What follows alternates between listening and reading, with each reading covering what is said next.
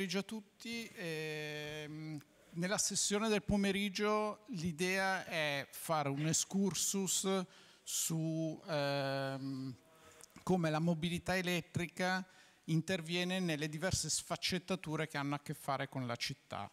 Eh, quindi vedremo sicuramente avremo una, un, diciamo, un, intervento da parte dell'amministrazione comunale che ci racconterà eh, come eh, viene pianificata la mobilità elettrica, poi avremo interventi relativi ai vari servizi che intervengono all'interno della città, avremo la, diciamo, la modalità sicuramente di come si ricaricano i veicoli elettrici, avremo esperienze rispetto al tema della logistica urbana, avremo anche analisi specifiche su come il mobility management può intervenire rispetto alla mobilità elettrica, oltre alle tematiche eh, dell'automotive in generale. Quindi, siccome siamo parecchi, eh, abbiamo diviso la sessione in due parti e quindi comincerei a chiamare Federico Confalonieri,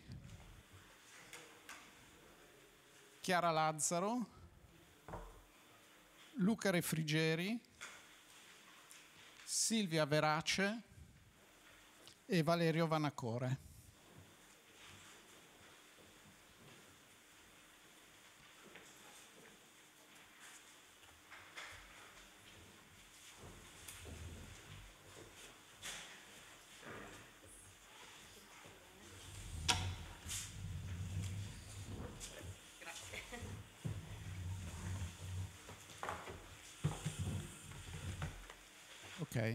Grazie a tutti. Eh, allora inizierei lasciando la parola a Federico Confalonieri del Comune di Milano che ci racconterà appunto come eh, avviene la pianificazione della mobilità elettrica all'interno della città di Milano. Grazie Valentino e grazie a tutti, buon pomeriggio. Ora io farò, adesso non so quanto tempo abbiamo ma comunque sarò abbastanza sintetico spero. Vi racconto un po' di di temi che Milano affronta ormai da un po' di anni legati appunto allo sviluppo e alla promozione della mobilità elettrica. Comincio, farò anche un po' di cronistoria perché secondo me è importante un po' inquadrare come siamo arrivati fino a questo punto.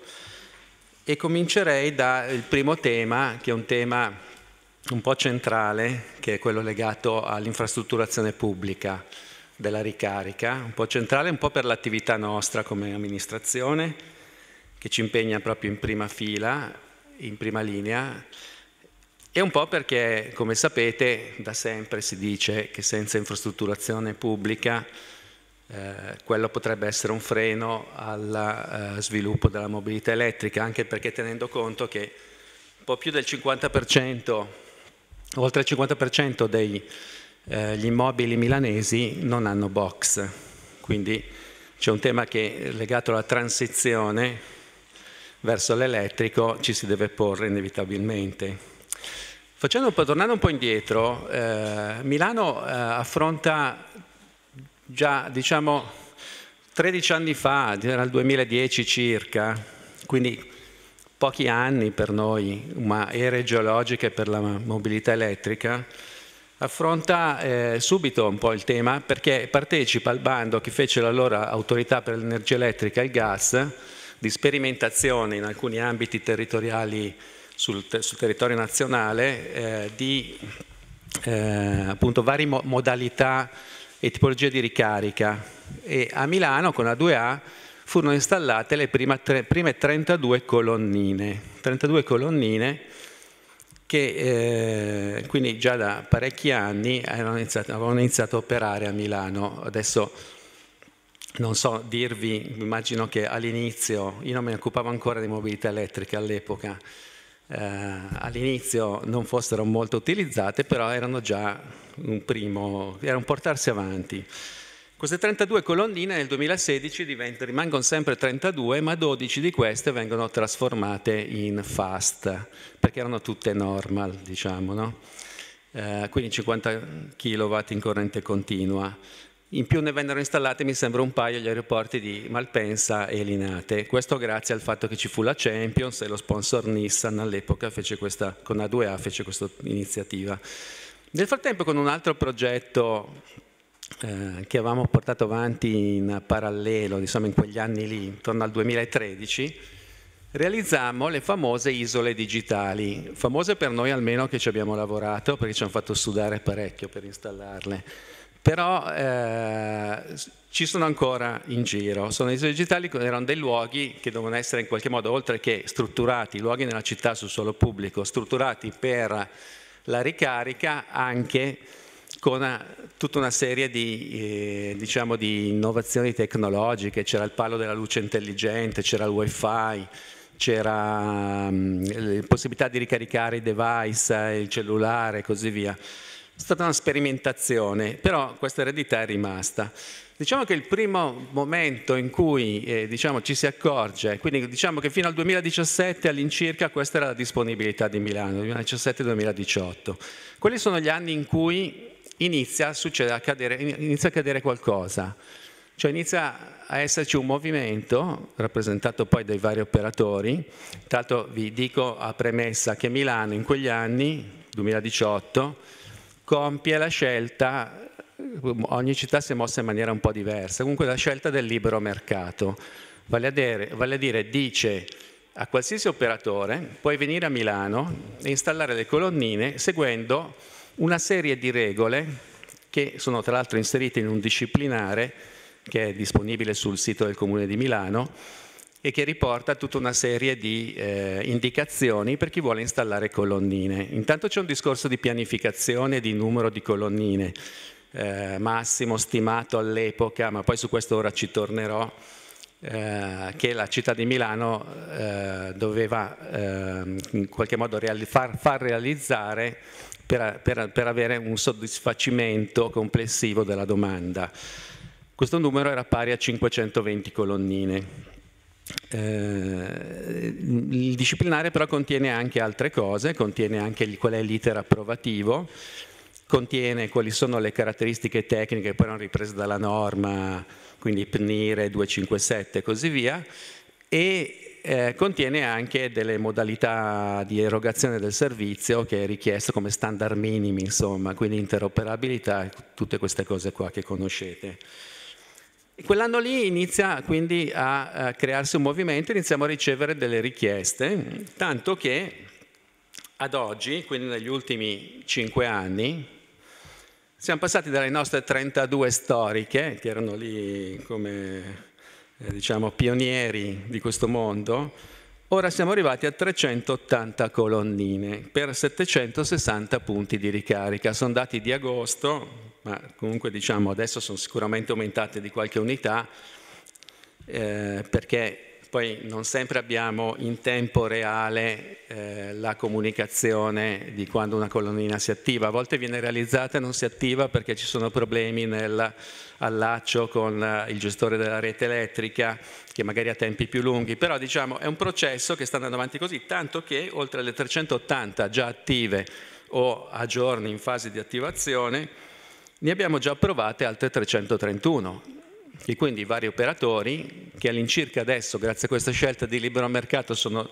circa una quindicina che operano a Milano, quindi c'è una grande pluralità di soggetti. È chiaro, ce ne sono alcuni che sono molto più, eh, per le loro politiche industriali, molto più attivi e quindi con un numero eh, di colonnine maggiori, altri che magari ne hanno messe 3, 4, 5 tra i 15 c'è anche uno o due alberghi che ne hanno messa una lì vicino al, al, loro, al loro, palazzo per diciamo, dare un'opportunità in più ai clienti, tenendo presente sempre che l'installazione su suolo pubblico deve essere aperta a tutti, non può mai essere eh, dedicata a qualcuno, deve essere una, eh, diciamo, deve avere caratteristiche di universalità, quindi eh, chiunque può accedere sul suolo pubblico.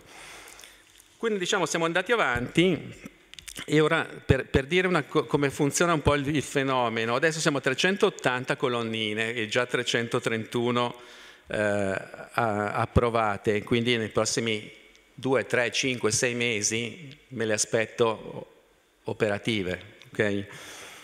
Eh, di queste tra l'altro vi do qualche altro dato, scusate non ho fatto slide eh, perché eh, non c'era tempo, diciamolo, e poi perché Tra l'altro le slide invecchiano molto presto, quindi questi numeri sarebbero già superati fra un mesetto e, e fra un anno non avrebbero più senso. Se no per un dato storico, magari per qualcuno che ha delle curiosità, vi dico che a marzo del 2022, cioè un anno e mezzo fa, eravamo a 167.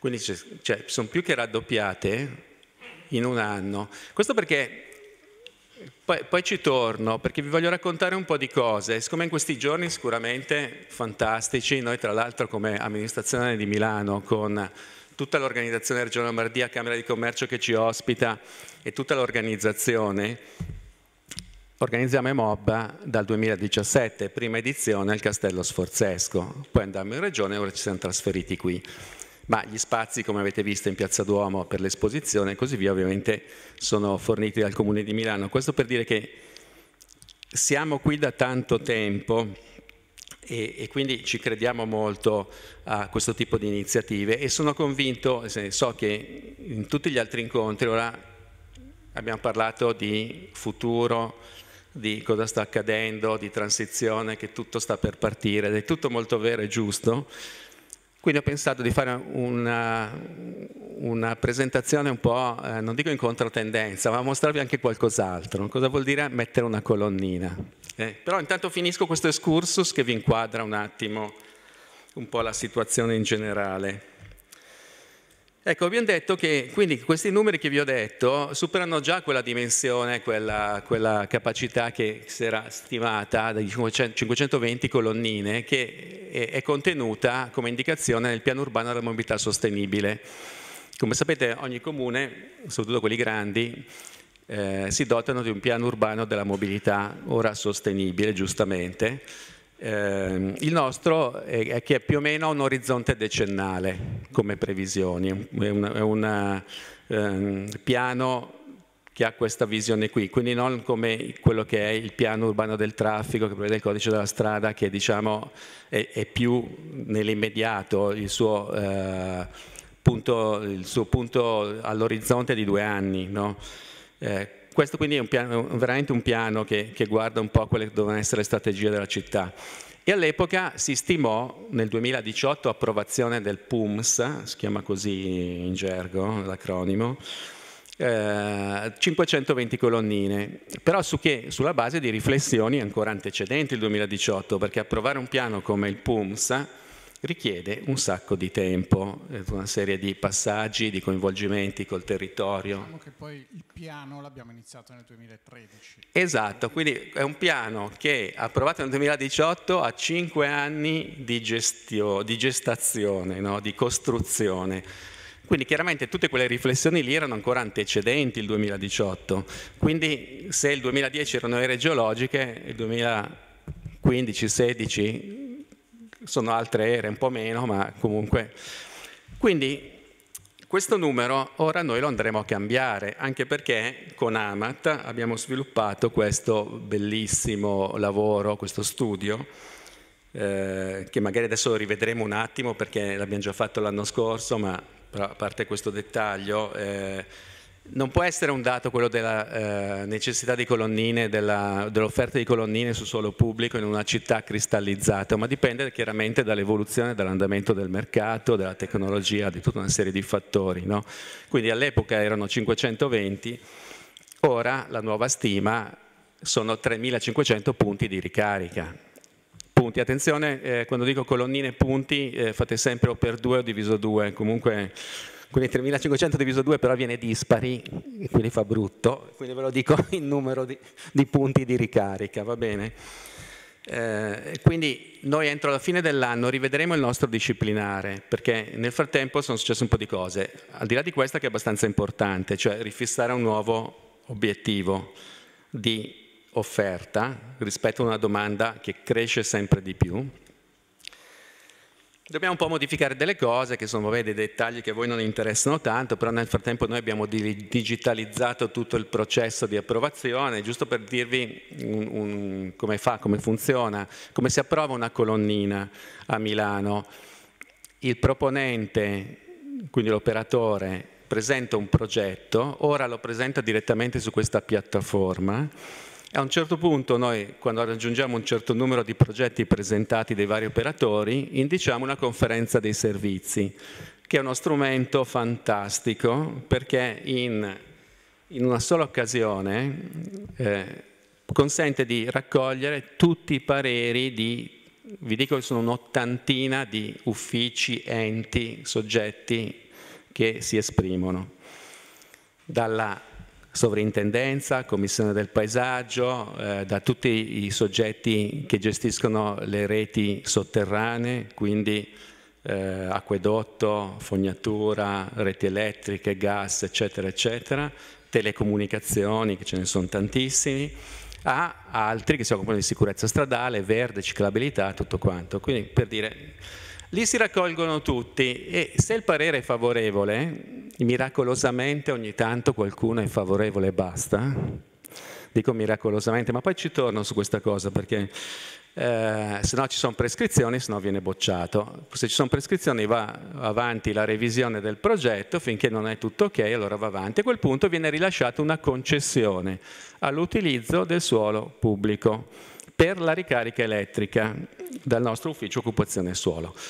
Eh, con la concessione in mano l'operatore va a fare i lavori, non è mica finita, eh? prende accordi con la uh, polizia locale, con il reparto strade, gli deve consegnare l'area, devono accordarsi come fare il cantiere per evitare problemi, eccetera, eccetera, cosa che vivete anche voi immagino quando fate gli, gli hub per la ricarica al capolinea e il, a questo punto fanno i lavori e finalmente a quel punto aspettano l'allaccio del contatore. Okay? Quindi tutto questo processo, se va bene, può durare tra i, diciamo, nel caso più fortunato assoluto, che tutto combacia eh, perfettamente, 6-8 mesi. Se no si arriva all'annetto. Questo per dire anche perché come mai eh, eravamo a 167 a marzo 2022. Perché la fase inerziale eh, che doveva muovere tutto questo. Tenete conto che gli operatori erano abbastanza nuovi a, a installare colonnine, non esistono professionalità specifiche, si stanno formando adesso di installatori di colonnine su suolo pubblico. Cioè uno se vuole fare una casa ha 100.000 architetti da scegliere, il ponte, cioè gli specialisti, la colonnina era una cosa abbastanza nuova. Quindi anche tutti gli operatori, eh, andare a trovare qualcuno che li aiuti nella progettazione non è stato facile, anche perché poi adesso andando avanti si creano anche ulteriori temi da affrontare. Su questo ci arrivo. Eh. Nel frattempo, per finire la carrellata, ho parlato solo di colonnine. Eh, se mi dici... No, io vorrei evitare di essere denunciato per sequestro di persone, siccome la giornata è lunga. È lunga. Eh, allora Perfetto. magari stiamo... Dimmi quanti minuti ho ancora che vedo di chiudere ancora 5 minuti. 5, dai, facciamo 10. Va bene, comunque saranno 5 con, con, con, il recupero, che adesso è molto lungo, come sapete, nel calcio. Eh, allora, il, ehm, dicevo, finendo questo discorso qua sulla ricarica sul suolo pubblico, ovviamente Milano non si è fermato a questo, nel senso che l'attività di promozione e supporto allo sviluppo della mobilità elettrica ha diversi eh, aspetti, okay? si, si, si, muove su diversi eh, territori. Uno è quello della regolamentazione, cioè vale a dire un grande supporto è stato tutti quelli che sono questi benefit che ha il eh, veicolo elettrico rispetto alle ZTL, quindi mi riferisco a area B e area C, in questo caso ZTL, perché su quelle eh, non apro un altro discorso perché ho troppo pochi minuti. Eh, però ecco, quindi, quindi, sapete tutti che abbiamo la gratuità eh, per l'ingresso in area C per i veicoli inferiori a 100 grammi CO2 al chilometro, la gratuità per la sosta su strisce gialle e blu, quindi residenti e sosta rotazione per i veicoli con meno di 50 grammi uh, di CO2 al chilometro, Poi abbiamo una cosa che è stata molto utile, ma ci dobbiamo pensare per vedere magari se ampliarla un attimo, per dare un po' una spinta, è stata quella di creare una finestra in area C, quindi nel centro storico dove ci sono un sacco di attività commerciali, eh, di carico e scarico dedicata solo agli elettrici, dalle 8 alle 10 se non ricordo male. E quello è stato un bel impulso, ma si può andare avanti, cioè l'argomentazione può anche non, non ha limiti, no? Se tu crei 4-6 ore in cui entra solo l'elettrico è chiaro che spinge ancora di più, quindi su questo bisognerà rifletterci. L'area B va bene, sapete che possono entrare per il momento, non sono gli unici, però sicuramente sono quelli che andranno più avanti. Sullo sharing, sullo sharing eh, come sapete, i monopattini e scooter sono tutti elettrici, il bike sharing sul nuovo bando che sta per uscire ci sarà una premialità forte per chi propone flotte elettriche. E il car sharing dal 1 gennaio 2024 tutti gli operatori possono mettere nuove macchine in eh, flotta solo se elettriche. Quindi anche questi sono strumenti molto importanti. Eh, abbiamo, vabbè, eh, per finire la carrellata, finanziamenti, sugli ultimi due anni abbiamo dato finanziamenti che sono stati maggiori per le auto elettriche sul cambio del parco veicolare, erano non solo le uniche auto elettriche finanziate, ma quelle elettriche avevano sicuramente una percentuale maggiore, quindi c'era una convenienza maggiore a prendere l'elettrica. Sul TPL non dico nulla, perché c'è l'ingegner Lazzaro che racconterà tutta questa bellissima storia, nonché importante, de, della elettrificazione di tutti i bus ATM. E non aggiungo nulla perché sennò mi accusano di spoilerare gli interventi precedenti, eh, cosa che hai fatto anche tu l'altra volta, ci sei rimasto male ma lo sai che non lo sapevo. e poi vabbè sul regolamento edilizio da tempo prevede che tutte le nuove costruzioni e le ristrutturazioni di primo livello eh, abbiano ad obbligo quello di infrastrutturare, cioè di creare le predisposizioni per le ricariche nei box. Okay? Detto questo, finisco con gli ultimi due minuti forse che ho per dire una cosa su, torniamo alle colonnine, che ci piace questa cosa qua, eh, nel senso che, eh, no, comunque a parte gli scherzi è un argomento importante e, e, e su cui stanno lavorando in tanti. Eh, mettere una colonnina a Milano è un'attività complicatissima. Perché? Allora, se qui c'è qualcuno di qualche società, operatori che mettono colonnine, lo sa già. Ecco, ne abbiamo uno in prima fila. Eh, ma per gli altri, magari che non lo sanno, vi spiego perché. Allora, intanto, vi dico 5-6 aspetti. Cioè, quando tutti questi 80 soggetti che vi ho detto danno un parere, eh, lo danno perché hanno una competenza, quella competenza ha la stessa dignità della mobilità elettrica. No? Poi si potrebbe discutere, conta più il verde o la mobilità elettrica? Conta più una ciclabile o la mobilità elettrica? Penso che non usciremo vivi da una discussione di questo tipo. Quindi bisogna per forza tener conto che siamo a pari dignità. E quindi queste competenze ci dicono delle cose. Per esempio, un dato, colonnine sono sempre più grandi, anche perché si va sempre più, insomma molto di più quelle normal, però si va sempre di più verso le fast. Ora una fast, anche da 50 kW in corrente continua, senza arrivare a quelle oltre, no, è alta 2,10 metri circa, secondo dei modelli. Ok, poi c'è qualcosa di meno, ma poi gli operatori hanno le loro, così via. Adesso voi immaginate mettere questa cosa qui con il suo armadio pontacontatore in un territorio altamente consolidato, cioè in un quartiere diciamo che ha un'urbanizzazione molto consolidata di case residenziali.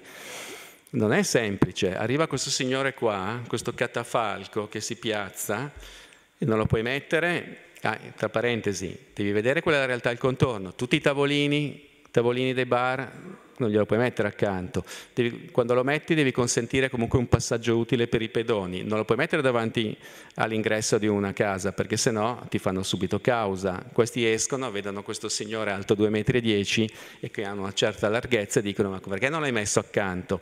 Ma accanto non lo potevi mettere perché magari frammentavi la sosta e quindi creavi una situazione particolare, oppure c'era un carraio. Insomma, se prendete tutti questi aspetti qui, ecco il discorso che uno dice ma rispetto allo sviluppo della mobilità elettrica, sì, però attenzione, eh, si deve anche inserire, c'è un contesto territoriale urbanistico che ha delle sue esigenze. Quindi questa cosa per i progettisti deve iniziare a diventare un tema, è già, è già diventato un tema, perché eh, c'è parecchia attenzione anche su questo aspetto, che è un aspetto anche che è legato a come viene recepita la mobilità elettrica. Se tu crei una roba che dà fastidio in maniera evidente, è chiaro che Dopodiché non potremo avere dei fan, degli amici della mobilità elettrica, no? eh, anche questo discorso va tenuto conto va tenuto conto, ma vi dico di più, il verde, il verde non si può scavare dove ci sono aiuole, per aiuola si intende qualsiasi cosa che è depavimentata, okay? non occorre che ci sia un bel prato inglese o che ci sia una specie rara uh, ad abbellire l'area verde, anche quelle robe brutte che solo terriccio è verde, lì non si può scavare e non ci si può mettere, proprio per un discorso di accessibilità universale della colonnina, e molti, molti stalli di sosta, dei 300.000 circa stalli di sosta su, su, suolo pubblico che esistono, tra gialli, blu, bianchi, eccetera, eh, sono magari ricavati dove tu scendi, il passeggero scende e praticamente si trova un 20 cm di cordolo e poi un'aiola. Ecco, se un operatore chiede di mettere lì la colonnina, gli verrà bocciata perché? Perché potrebbe scendere, cioè mentre tu con la sosta hai delle alternative, non parcheggio lì, parcheggerò nella via accanto, con la colonnina non ho alternative, perché se ce l'ho lì magari la più vicina è a 300, 400, 500 metri, non è un'alternativa a quella colonnina lì in questo momento. E quindi se io sto portando un disabile, non posso farlo scendere lì accanto all'aiola in 20 cm di spazio. Quindi iniziamo a togliere anche tutti questi aspetti qua. Tutti i progetti di riqualificazione. Fortunatamente Milano è una città molto dinamica, no? fortunatamente direi, però anche lì si può discutere, però è molto dinamica e quindi tutti i quartieri sono in continua riqualificazione, vi cito solo tutto il progetto Piazze Aperte, l'urbanistica tattica, tutto il bando che è stato fatto davanti alle scuole, adesso le scuole sono off limits per gli operatori di colonnine, perché davanti alle scuole si faranno delle pedonalizzazioni, perché la scuola diventa la centralità del quartiere e i ragazzi devono andare lì con i genitori e non trovare le macchine. È, giusto che sia così. Quindi non ci può essere una colonnina, perché sennò dovrebbe esserci la macchina che ricarica. No? Piazzale Loreto, per fare un esempio, l'ultimo, partirà una grande riqualificazione. Quante sono state bocciate che volevano mettersi lì? Tantissime. E, e così un sacco di altri posti. Le piste ciclabili. Piste ciclabili non in struttura, ma leggere, come si stanno facendo ora, tante, no? esempio, ma anche qui non apriamo dibattiti perché ognuno ha la sua idea, però Corso Buenos Aires, Via Le Monza e così via, quindi sono solo segnate, sono accanto alla sosta, non ci può stare la colonnina. No? Quindi tutte queste cose qua l'operatore spesso non ha un quadro, perché nessuno ha il quadro completo. Noi abbiamo raccolto tanti dati da dare agli operatori, per orientarsi, ma non puoi mai avere la certezza che in quel momento non si decida che un certo punto sia un punto di riqualificazione. E quindi la colonnina verrà bocciata. Quindi lo sommiamo al verde, lo sommiamo al fatto che la devi inserire, ho finito, c'è tutto il discorso della sicurezza stradale, non ti puoi mettere eh, alle intersezioni, devi, bisogna vedere la larghezza delle strade, tutta una serie di aspetti. E per finire c'è la disponibilità della rete elettrica, cioè nessuno va a mettere una colonnina se deve fare una cabina di trasformazione perché lì una rete non riesce a portare l'energia necessaria, tanto che la cabina non gliela proveremmo neanche perché non facciamo una cabina in mezzo a, a, ai quartieri così. Quindi se mettete, sommate tutte queste cose, i poveri operatori che devono fare i progetti fanno la caccia al tesoro questo ve lo dico perché forse nessuno dice ma bisogna sburocratizzare, ma cosa sburocratizzi? Questa è la realtà dei fatti.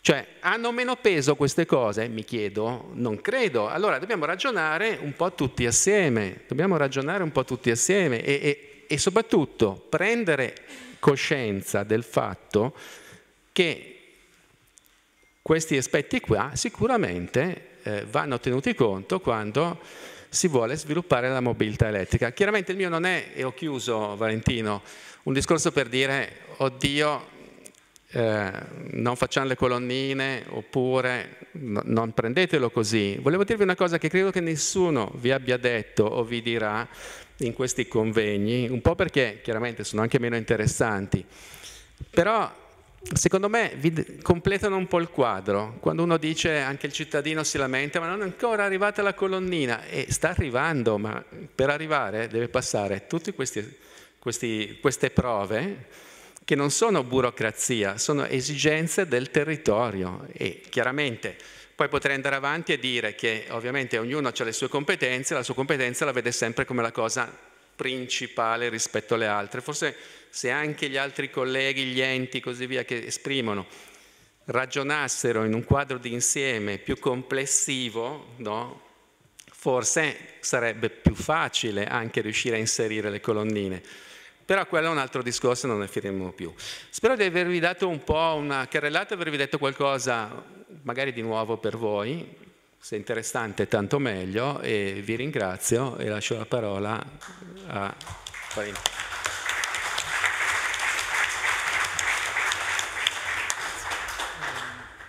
Fede, Fede, ho una domanda anch'io, volevo fare prima la mia e poi lascio lei.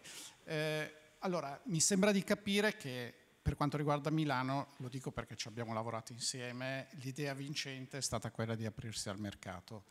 Detto questo, tu hai evidenziato bene tutte le difficoltà legate al territorio per l'installazione delle colonnine, ma anche soprattutto per l'individuazione dei luoghi più idonei per installare le colonnine. Quello che volevo chiederti è come facciamo poi ad evitare che le colonnine si concentrino nei luoghi dal punto di vista commerciale anche più appetibile e, eh, e magari eh, evitare che eh, non ci siano colonnine nei luoghi meno appetibili dal punto di vista commerciale, ad esempio le aree periferiche. Rispetto a questo tema c'è una risposta specifica che puoi dare? Sì, ti ringrazio. Scusami, una cosa che ho dimenticato. Noi nel disciplinare abbiamo indicato che c'è una ripartizione fra le diciamo, tre cerchie, ce ne sono di più in realtà, ma vabbè, quelle che abbiamo individuato noi sono la cerchia dei bastioni, cioè quindi il centro storico, tra la cerchia dei bastioni e la cerchia filoviaria, quella della 90-91, che è un territorio molto densamente abitato, e tra la cerchia filoviaria e i confini comunali. E chiediamo a tutti gli operatori, quando ci presentano le loro colonnine, ovviamente in un quadro più complessivo, perché eh, loro hanno un progetto, magari di mettere 100 colonnine, non te le chiedono tutte subito, no? magari iniziano da 20 e così via, che però nel quadro complessivo loro, del loro investimento ci sia un rapporto 2-3-5 che abbiamo individuato tra l'altro anche lavorando con gli uffici di Amat, 2, 3, 5, no, altrimenti avevamo visto soprattutto all'inizio che c'era la tendenza a concentrarsi molto nel centro. No? Dopodiché è chiaro che eh, invece poi è stata fatta anche un'altra ripartizione con i nuclei di identità locale, sarebbero i quartieri, quelli individuati dal eh, PGT, Piano di Governo del Territorio, sono 90, no, 88, 88 eh, macro quartieri in cui, eh, in cui suddivisa Milano, eh, però anche lì bisogna stare un po' attenti nel senso che effettivamente ci possa essere anche il discorso del lab, a volte può essere un'idea in determinati contesti territoriali, o il discorso che di fronte a una particolare funzione molto attrattiva ci possa stare più di una colonnina, anche quello è importante. No? Quindi Bisogna un po' su questo, cioè non mettere troppi vincoli perché eh, la realtà è molto variegata e non la puoi eh, come dire, stratificare così, in maniera così eh, rigida. Però ecco, eh, in linea di massima il discorso 2-3-5 mi sembra molto positivo. Ok, allora io lascio fare la domanda soprattutto perché non ho dato le regole di ingaggio. Siccome c'è una sessione finale con le domande, poi le domande le terremo per la fine. Giusto un raccordo con eh, l'oratore di stamattina, che in quanto operatore ha, ha, ha sottolineato la lentezza dell'iter approvativo per l'installazione delle colonnine. E qua mi sembra che da parte del Comune di Milano ha dato la, la sua giustificazione. un, un, altro elemento che mi, mi fa pensare, quindi le faccio la domanda, le faccio subito la domanda. Le, eh, il Comune di Milano sta passando da 320 a circa 800 nei prossimi due anni di, di colonnine installate.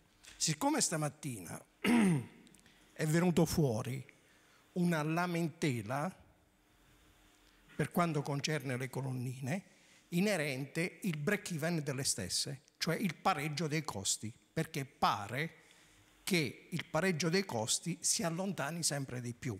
Allora io le faccio la domanda, avete fatto il punto sull'utilizzo di queste colonnine. Non vorrei che nei prossimi anni vi trovaste con cattedrali nel deserto. Eh, no, allora sul, va, va bene, in realtà la sua domanda eh, richiederebbe una sessione di lavoro, però adesso... Cioè, poi mi sgridano, però cerco... Gli operatori vi stanno fornendo feedback circa il pareggio dei costi di queste cose? Allora, vado subito al nocciolo. Sulla lentezza però voglio dire una cosa, appunto... Eh, l'ho chiarita, ma non è una giustificazione quello che volevo dire, eh, sono i tempi, eh, come dire, minimi. Cioè, il problema è che nella fantasia spesso, nel desiderata di tanti, no, ci sono queste cose per cui un progetto si possa fare in stile americano in quattro mesi. Avrete visto ieri la trasmissione presa diretta, immagino, parlava di mobilità elettrica ho detto magari l'avete vista, io l'ho guardata e c'era il solito paragone che in America arrivi e in quattro mesi costruisci una fabbrica. Va bene, però eh, facciamo i conti, Milano città compatta, 1.350.000 abitanti circa in 180 km quadrati, vedete voi, cioè non è una cosa da poco, con tutta una serie di... Eh, vabbè, comunque detto questo, gli operatori ci forniscono i dati, sì, però su questo dobbiamo lavorare molto con loro. È una cosa che non abbiamo ancora fatto perché siamo schiacciati dalla quotidianità, oltre a essere, diciamo, eh, come dipendenti del Comune di Milano, una persona e mezza dedicata alla mobilità elettrica. La mezza sono io, eh. Poi fortunatamente c'è un collega che fa 100% mobilità elettrica,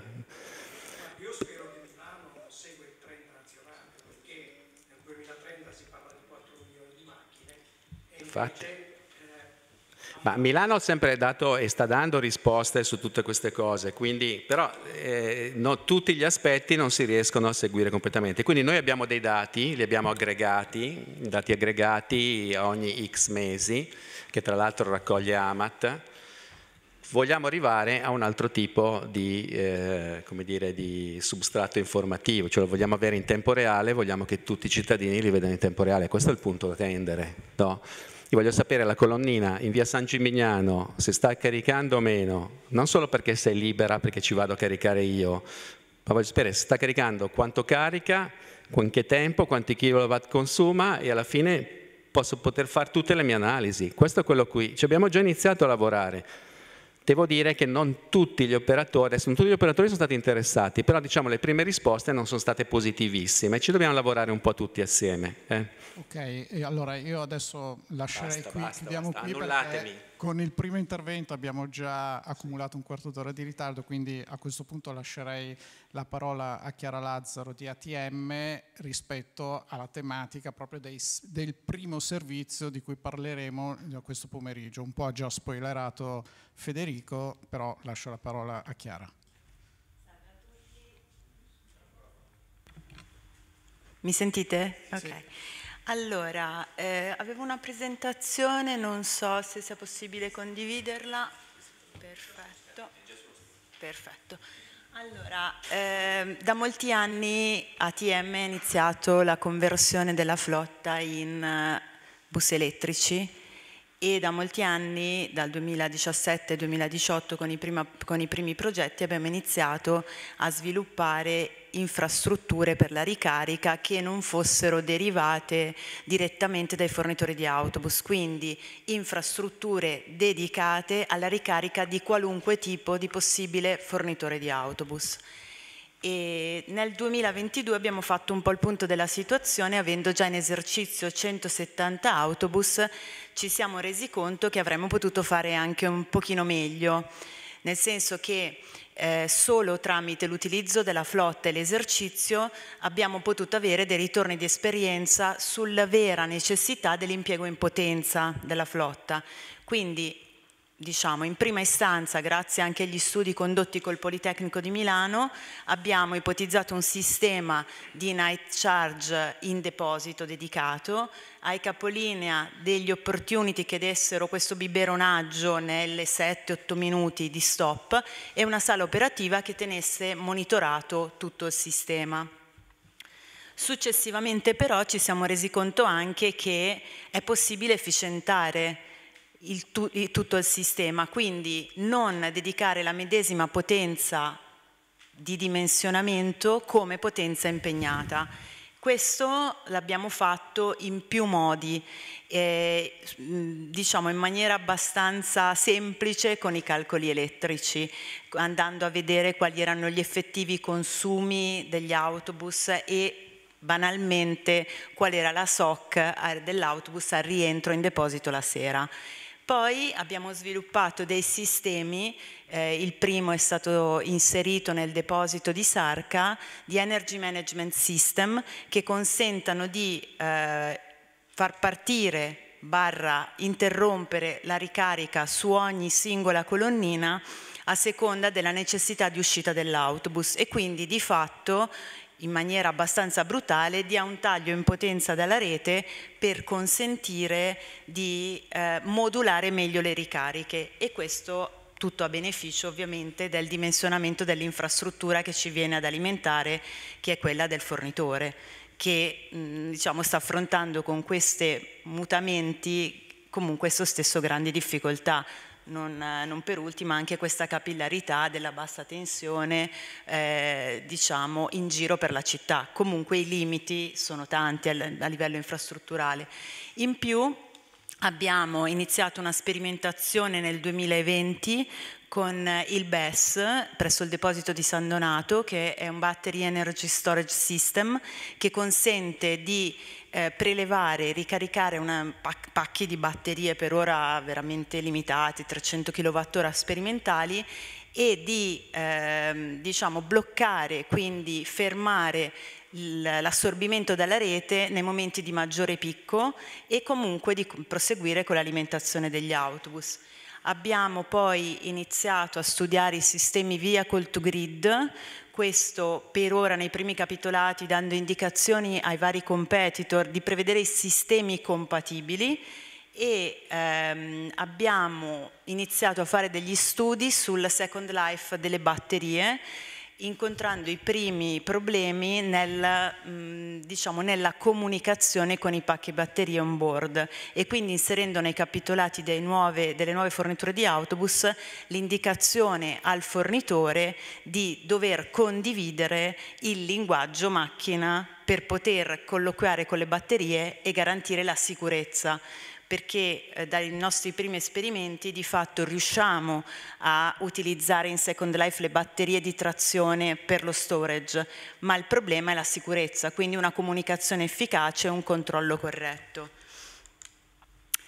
Nel, nell'avanzare comunque dell'elettrificazione un secondo tema che si è posto è stato quello degli spazi, perché in molte situazioni lo spazio necessario per posizionare un autobus in rimessa in una posizione, postazione di ricarica occupa almeno il 20% dello spazio in più. Per questo nella conversione dei depositi si conto, ci si è resi conto della necessità di dover costruire nuovi depositi. E è il come, eh, diciamo, la scelta che abbiamo fatto di concerto col Comune di Milano, eh, la chiave di volta, nel senso del minimo impatto ambientale, sia i depositi di Toscana che quello di Triboniano, che per ora sono i primi due, avranno comunque un'autoproduzione ovviamente limitata a quelli che sono gli spazi. Stiamo cercando di ottimizzare l'occupazione di suolo, mantenendo comunque a Toscana tutta la parte diciamo all'aperto, sarà un deposito seminterrato all'aperto comunque fruibile al pubblico e a verde e a Triboniano avremo delle pensiline che saranno parzialmente verdi e parzialmente a pannelli fotovoltaici.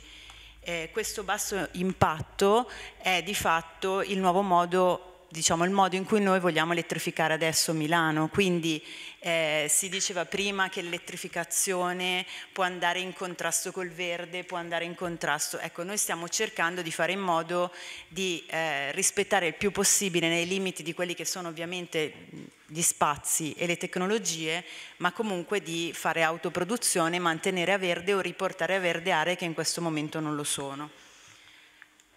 E ehm, questo efficientamento energetico della flotta non si limita soltanto diciamo, agli autobus, ma è stato riportato anche nei capitolati dei filobus che fino a poco tempo fa erano comunque acquistati con piccole batterie endotermiche a bordo per dare un certo livello di autonomia, soprattutto nei lavori che vengono fatti sulla rete filotranviaria Attualmente vengono acquistati solo autobus con batterie a bordo che diano quel punto, quell'autonomia che ci consenta di essere flessibili rispetto alle esigenze dei cantieri, ma comunque sempre al 100% elettrici. E, um, ultimo aspetto su cui mi vorrei focalizzare è il fatto che questo nostro ritorno di esperienza nella città di Milano ci ha consentito di, eh, insomma, di, condividere quelli che sono degli aspetti fondamentali sia a livello di sostenibilità che di efficientamento energetico che di sviluppo proprio delle soluzioni di deposito eh, con l'istituzione di questo consorzio Full Green, in questo momento con le città principalmente di Roma e Napoli, e quindi di creare dei team multidisciplinari e anche diciamo, scorrelati a quella che è la realtà eh, della città di Milano, ma affrontando nuove sfide, mh, soprattutto diciamo, in ambienti eh, molto diversi, ma anche da un punto di vista geologico-geotecnico, piuttosto che eh, di, a livello di vincoli, quindi l'inserimento di quelle che sono tutte le infrastrutture in città che hanno diversi livelli di complessità e quindi si sono appunto sviluppate queste, diciamo, queste collaborazioni su tutti gli aspetti, ovviamente non solo quelli correlati strettamente al full electric, ma in generale a tutte quelle che sono le esperienze dei vari TPL. Grazie, è interessante poi vedere appunto che l'esperienza maturata su Milano poi venga messa in condivisione con le altre città proprio per evitare che le altre città magari affrontino eh, da capo certi errori magari fatti da noi. Certo, ma avendone anche una crescita perché ci sono molti aspetti che come ingegneria eh, non abbiamo mai affrontato a Milano mentre sono magari molto attuali in altre città, quindi è una crescita reciproca sia non solo da un punto di vista tecnico ma anche gestionale, amministrativo. Diciamo che eh, la municipalità di Milano ha eh, diciamo, già assorbito eh, l'idea e anzi è stata promotore dell'idea del full electric e la stessa cosa anche le altre eh, agenzie di TPL dovrebbero portare avanti e, e, insomma, sviluppare coerentemente. Diciamo, siamo stati i primi, adesso condividiamo. Ecco, nelle tue slide abbiamo visto, nelle prime slide abbiamo visto gli opportunity charge, hai parlato di opportunity charge, sì. abbiamo visto delle dimensioni eh, geometriche piuttosto importanti e immagino anche delle potenze piuttosto importanti. Sì.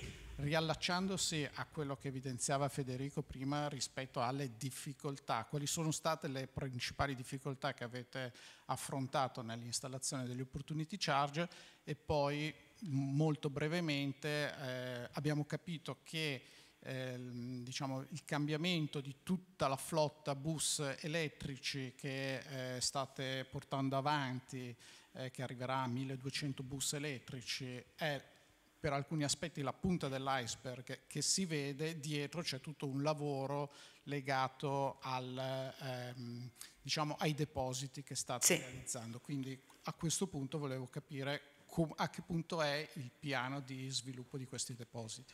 Allora, per quanto riguarda gli opportunity charger, a parte le medesime eh, diciamo, problematiche affrontate per le colonnine auto, quindi ovviamente disponibilità del suolo, sottoservizi, impatto anche dal punto di vista dei cittadini che insomma sono più di 5 metri e quindi diciamo, l'impatto estetico. Eh, allora, sull'impatto estetico è stato fatto un grande lavoro con il Comune di Milano proprio per dare un segnale alla popolazione ai cittadini comune, quindi l'estetica è stata studiata in tal senso. La tematica invece importante era relativa alle potenze. Noi attualmente ricarichiamo a 200 kW e gli autobus prossimi 18 metri saranno a 300 kW e questa è una potenza che in bassa tensione non viene erogata dal distributore. Però a Milano abbiamo la fortuna di avere una rete filotranviaria capillare con una grande distribuzione di cavi di potenza che arrivano dalle medesime sottostazioni che alimentano i tram e le filovie e quindi abbiamo eh, studiato un sistema sempre partendo da studi congiunti col Politecnico di Milano per riuscire, avendo già la corrente continua sulla rete filotram, a convertirla, diciamo comunque in un sistema DC-DC quindi anche molto compatto in termini di spazio, senza andare a richiedere ulteriori forniture o comunque creare cabine di media tensione che a Milano sarebbero state difficilmente inseribili. La seconda soluzione quando siamo lontani dalla rete filotram è utilizzare le medesime forniture che abbiamo in metropolitana, eh, diciamo senza ovviamente toccare la rete metropolitana, ma semplicemente utilizzando le cabine di trasformazione, le cabine di media tensione. E invece il piano di sviluppo dei allora, abbiamo, sì, sì, abbiamo elettrificato quasi completamente il deposito di Sarca, stiamo portando avanti l'elettrificazione del deposito di Giambellino, il primo segnale è stata la, il green wall, la parete verde che appunto dava un segnale di apertura alla cittadinanza. Abbiamo, il primo a essere elettrificato è stato il San Donato come laboratorio in cui abbiamo provato vari fornitori diversi e eh, adesso stiamo mm, completando le opere civili per l'elettrificazione del deposito di Palmanova che sarà pronto l'anno prossimo e sarà il primo deposito in Italia con la ricarica totalmente a pantografo, quindi ci saranno nel piazzale C, quello che ha una conformazione geometrica adeguata, 50 pantografi con 50 autobus che saranno ricaricati diciamo, dall'alto. Okay, grazie. Allora, eh, noi sappiamo chi utilizza lo sharing eh, considera lo sharing anche un po' come la porta d'ingresso rispetto alla mobilità elettrica. Eh, immagino che se alziamo la mano quelli che hanno la macchina elettrica avremo numeri relativamente bassi, probabilmente se chiediamo a qualcuno se ha mai guidato un veicolo elettrico, probabilmente è un veicolo in sharing, quindi chiederei a Luca Refrigeri magari di farci un quadro più a livello nazionale rispetto appunto all'elettrificazione dello sharing. Ok, buongiorno, buon pomeriggio a tutti innanzitutto, grazie per l'invito, uh, perché insomma come osservatorio della sharing mobility uh, ci teniamo sempre a partecipare a questo tipo di, uh, di convegni. Io avrei una presentazione, ehm, ok. Così vi faccio intanto vedere subito qualche dato di... Vabbè, orrenda, schippiamo subito la copertina, che non rende giustizia alla grafica del, del, convegno. Vi faccio vedere qualche dato intanto di, di contesto della sharing mobility per capire eh, a che punto siamo in Italia. In particolare quando parliamo di sharing mobility, qui ci riferiamo a un pezzo della sharing mobility che chiamiamo vehicle sharing, cioè quei servizi che mettono in condivisione degli utenti dei veicoli e quindi servizi di car sharing, servizi di scooter sharing, bike sharing e monopattino in sharing. E qui vediamo intanto, eh, partiamo subito dalla, dalla, domanda dei servizi di vehicle sharing in Italia nel 2022. Il 2022 è stato un anno molto positivo per i servizi di, di, di sharing mobility dovuto anche e soprattutto alla fine dell'emergenza pandemica e quindi a un ritorno ai livelli di mobilità eh, simili a quelli pre-pandemia, cosa di cui ovviamente ha giovato anche eh, la sharing mobility. Eh, I noleggi nel 2022 sono 50 milioni più 41% rispetto a quelli dell'anno precedente. Anche in termini di percorrenze chilometriche eh, l'incremento è stato importante, più 46% con 195 milioni di chilometri percorsi su servizi di vehicle sharing. In questa slide vedete invece eh, la partizione dei noleggi e delle percorrenze secondo appunto i servizi di vehicle sharing che abbiamo detto prima. Quindi vedete l'evoluzione dal 2019 al 2022, in particolare potete vedere la, uh, la fotografia al 2022 appunto.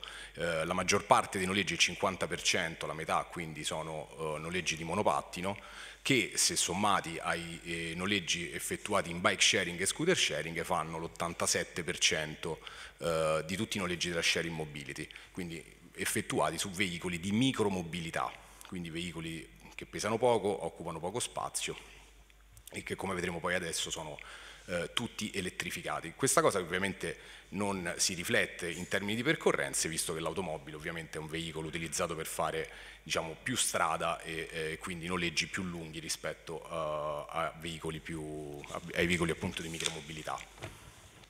Questa cosa si riflette anche in un aumento dell'offerta dei servizi vehicle sharing.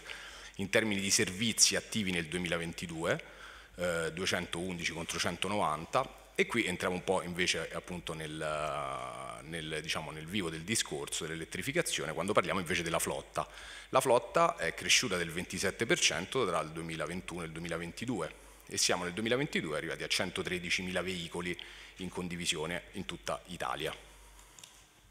La flotta che appunto nel 2022 si eh, ripartisce in questo modo. Noi parliamo di qualità ecologica della flotta in condivisione nel 2022 ovviamente perché eh, come vedete dalla torta più piccola a destra, il 97% di questa, di questa flotta è costituita di veicoli a emissioni zero, perché appunto veicoli elettrici o veicoli a trazione ovviamente eh, muscolare, come eh, appunto una parte ancora del bike sharing, che come vedete, tornando nella torta di sinistra, rappresenta il 16% della, uh, dei veicoli complessivi.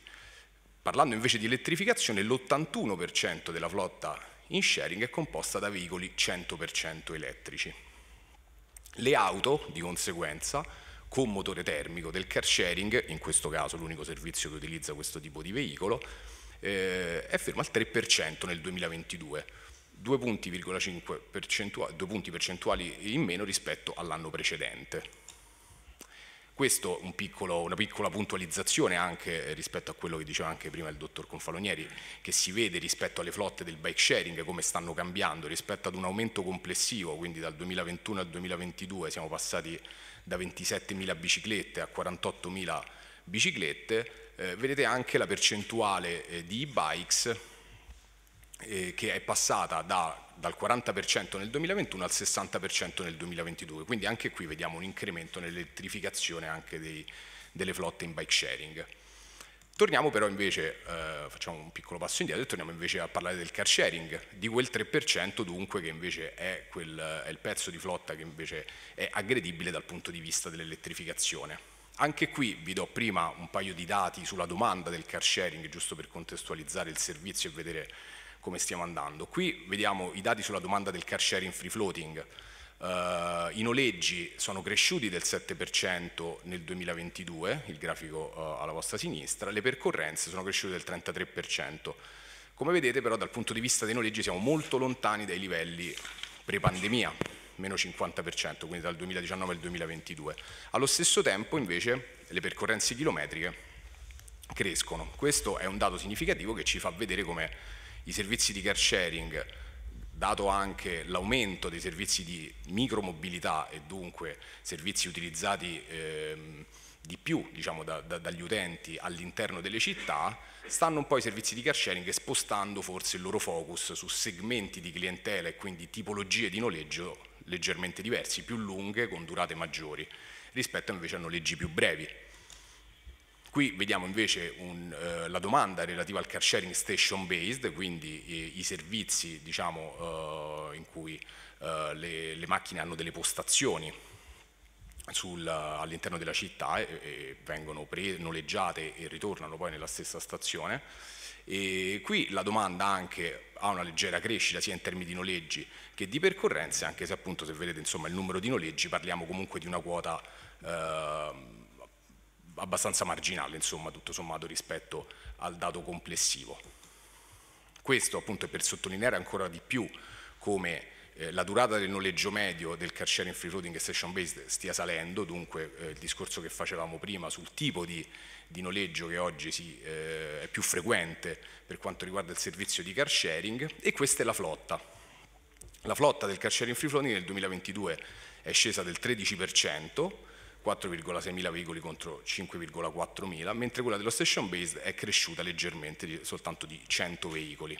Il tasso di elettrificazione è cresciuto dal punto di vista della, del car sharing free floating e, eh, e, anche per quello che riguarda invece la flotta del car sharing eh, eh station based, con, che arriva a, a circa il 60%. Questo è invece un focus eh, proprio sulla flotta del car sharing italiano, quindi diciamo le, le, le automobili eh, completamente elettrificate sono 2660, il 44% la maggior parte. La ripartizione per segmento vede una maggioranza di, di automobili appunto tra il segmento A e il segmento B e un costo medio di circa 28.000 euro. Le novità che abbiamo segnalato nel 2022 per quanto riguarda soprattutto i servizi eh, elettrificati sono, si segnalano a Bari con un car sharing free floating con 31 eh, quadricicli, eh, il car sharing Ziti di, eh, aperto appunto a Milano 450 BEV e mentre anche il car sharing di Enjoy sta introducendo nella flotta l'Exev Yo-Yo che sono dei quadricicli pesanti, questo insomma per quanto riguarda un po' eh, le novità. In conclusione, mh, dunque, quello che possiamo dire è che appunto, la, la sharing mobility per quanto riguarda sicuramente il comparto dei servizi di micromobilità, la micromobilità quindi monopattini, scooter e biciclette, sono servizi che naturalmente arrivano, arrivano, già elettrificati, nascono come servizi elettrificati, sono semplici da gestire e sono più convenienti. Nel car sharing quindi abbiamo visto invece che c'è uno spazio ancora di elettrificazione, il 56% eh, della flotta esistente, cosa che chiaramente sarebbe assolutamente auspicabile. Ovviamente bisogna fare i conti diciamo, in questa transizione, quindi in questo processo di elettrificazione, con un momento diciamo, del car sharing mm, come tipologia di servizio non, eh, non, brillante dal punto di vista della redditività. Gli operatori insomma, stanno uh, cercando diciamo, di, oggi come oggi di far quadrare un po' eh, i conti, soprattutto con questa appunto, micromobilità che sicuramente risolve tanti problemi, ma è molto aggressiva su un, una tipologia diciamo, di mercato che prima era eh, un mercato diciamo, più eh, ricco per il, per il, car sharing. Diciamo. E dunque tutto questo chiaramente dovrebbe essere dal punto di vista dell'osservatorio, insomma, eh, auspichiamo che sia appunto un processo, si avvii un processo di elettrificazione, magari sostenendo sia da un, da un certo punto di vista la domanda, una domanda quindi che premi gli utenti che scelgono veicoli elettrificati sempre riferendoci al car sharing, ma anche ovviamente anche dal punto di vista dell'offerta, dunque incentivi all'elettrificazione, incentivi a, ovviamente per le infrastrutture eh, di ricarica eh, dedicate agli operatori e anche ovviamente eh, possibili magari vantaggi fiscali per quei servizi di car sharing eh, 100% eh, elettrici, equiparandoli ad altri servizi di, di, mobilità. Questo insomma è un po' come noi dell'osservatorio vediamo la prospettiva del car sharing e dell'elettrificazione della sharing mobility. Allora, eh, Tornando un po' indietro nella Vado. slide, ma senza, senza, senza percorrere, no, ma non è, non è ah, importante. Ah, ok. Eh, la, tu hai detto che ehm, si sono ridotti i numeri di noleggi, sono, è aumentato il tempo del noleggio sì. e a un certo punto hai detto che sono aumentati anche i chilometri. Allora, secondo me bisognerebbe fare affondare un attimo per capire se il numero di noleggi si è ridotto perché essendo aumentato il tempo e, e quindi conseguentemente anche i chilometri, la flotta, l'offerta non è più sufficiente ad, a, diciamo, a, ad offrire la stessa risposta alla domanda che magari c'era in precedenza. Sappiamo tutti che il 2019 è stato un po' l'anno di demarcazione. Diciamo, sì e, e, quindi non siamo ancora tornati ai numeri che avevamo nel 2019. Se, la seconda questione che volevo affrontare è, sempre legandomi a quello che diceva Federico, in cui ha annoverato uno dei, dei, dei temi dei ba, del bando sul car sharing di Milano, in cui obbliga alla, diciamo, a tutti i nuovi inflottamenti dal 1 gennaio 2024 ad inserire solo ed esclusivamente veicoli elettrici. Allora rispetto a questo aspetto volevo capire se a livello nazionale ci sono altre città che si stanno spingendo per l'obbligatorietà. Hai citato proprio i costi, i costi logistici anche per la ricarica. Le altre città cosa stanno facendo?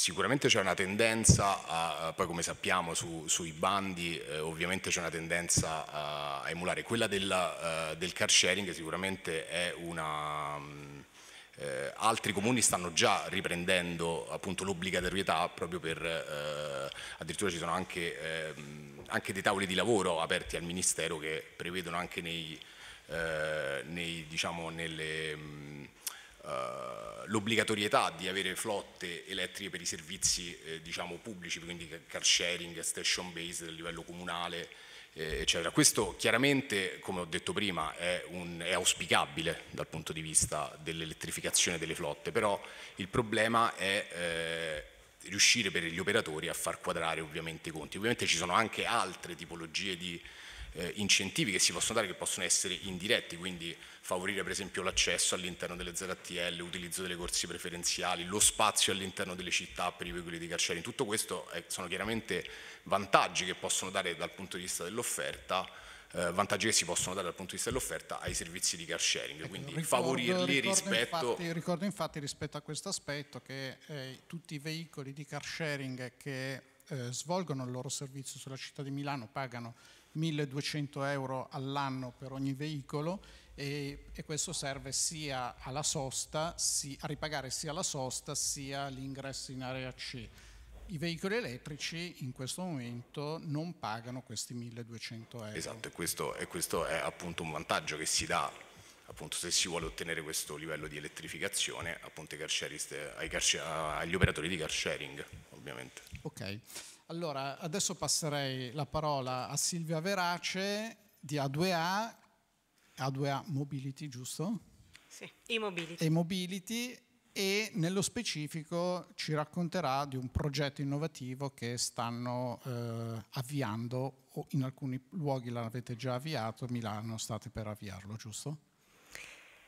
Sì, buongiorno a tutti, volevo vedere se partirà la presentazione, eh, appunto io lavoro per, per A2A Mobility che è la società del gruppo A2A che penso conosciate tutti, che eh, opera nel mondo della mobilità elettrica. Eh, A2 Mobility è stata fondata a partire dal 2021, quindi ha un paio d'anni, e eh, è nata con l'obiettivo di ehm, investire sempre di più nel, nel, settore della mobilità elettrica dove A2A già operava a partire dal 2021, dal 2011 con la rete sperimentale che eh, il collega del Comune di Milano raccontava all'inizio di questa, di questa plenaria di oggi. Oggi eh, noi gestiamo circa 2000 punti di ricarica su tutto il territorio nazionale, eh, con un focus sicuramente in Lombardia dove siamo partiti, ma con l'obiettivo di essere presenti su, su, su, tutto il territorio appunto, in linea con le strategie di A2A che appunto oltre ad occuparsi di mobilità elettrica si occupa di generazione di energia, distribuzione, ciclo idrico, gestione dei rifiuti e lo fa in maniera estensiva appunto in tutta Italia.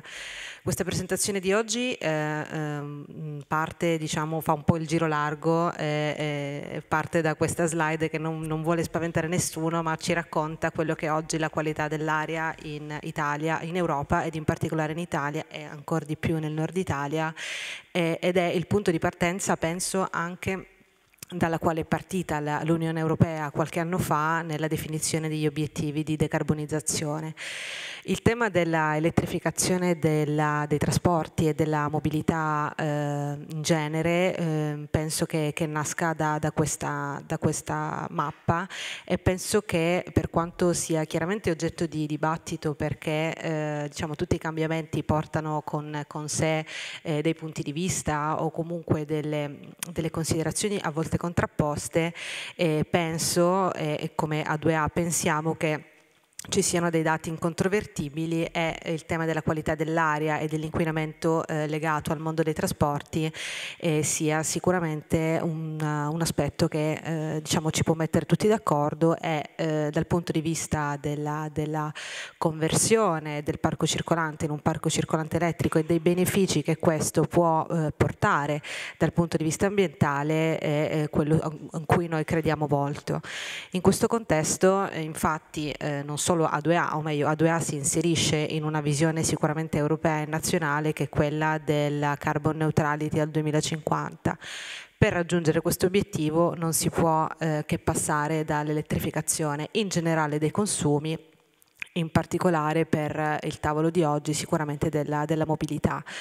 E sicuramente questo eh, diciamo, si inserisce negli obiettivi del PNIEC che sono stati recentemente illustrati e che eh, all'interno dei quali, eh, binari all'interno dei quali ci muoviamo come A2A e-mobility per, eh, nel, nel, momento in cui diciamo, investiamo sui territori. Questo anche per rispondere alla domanda in precedenza, vero è che eh, l'asticella si alza, che il, la crescita attesa...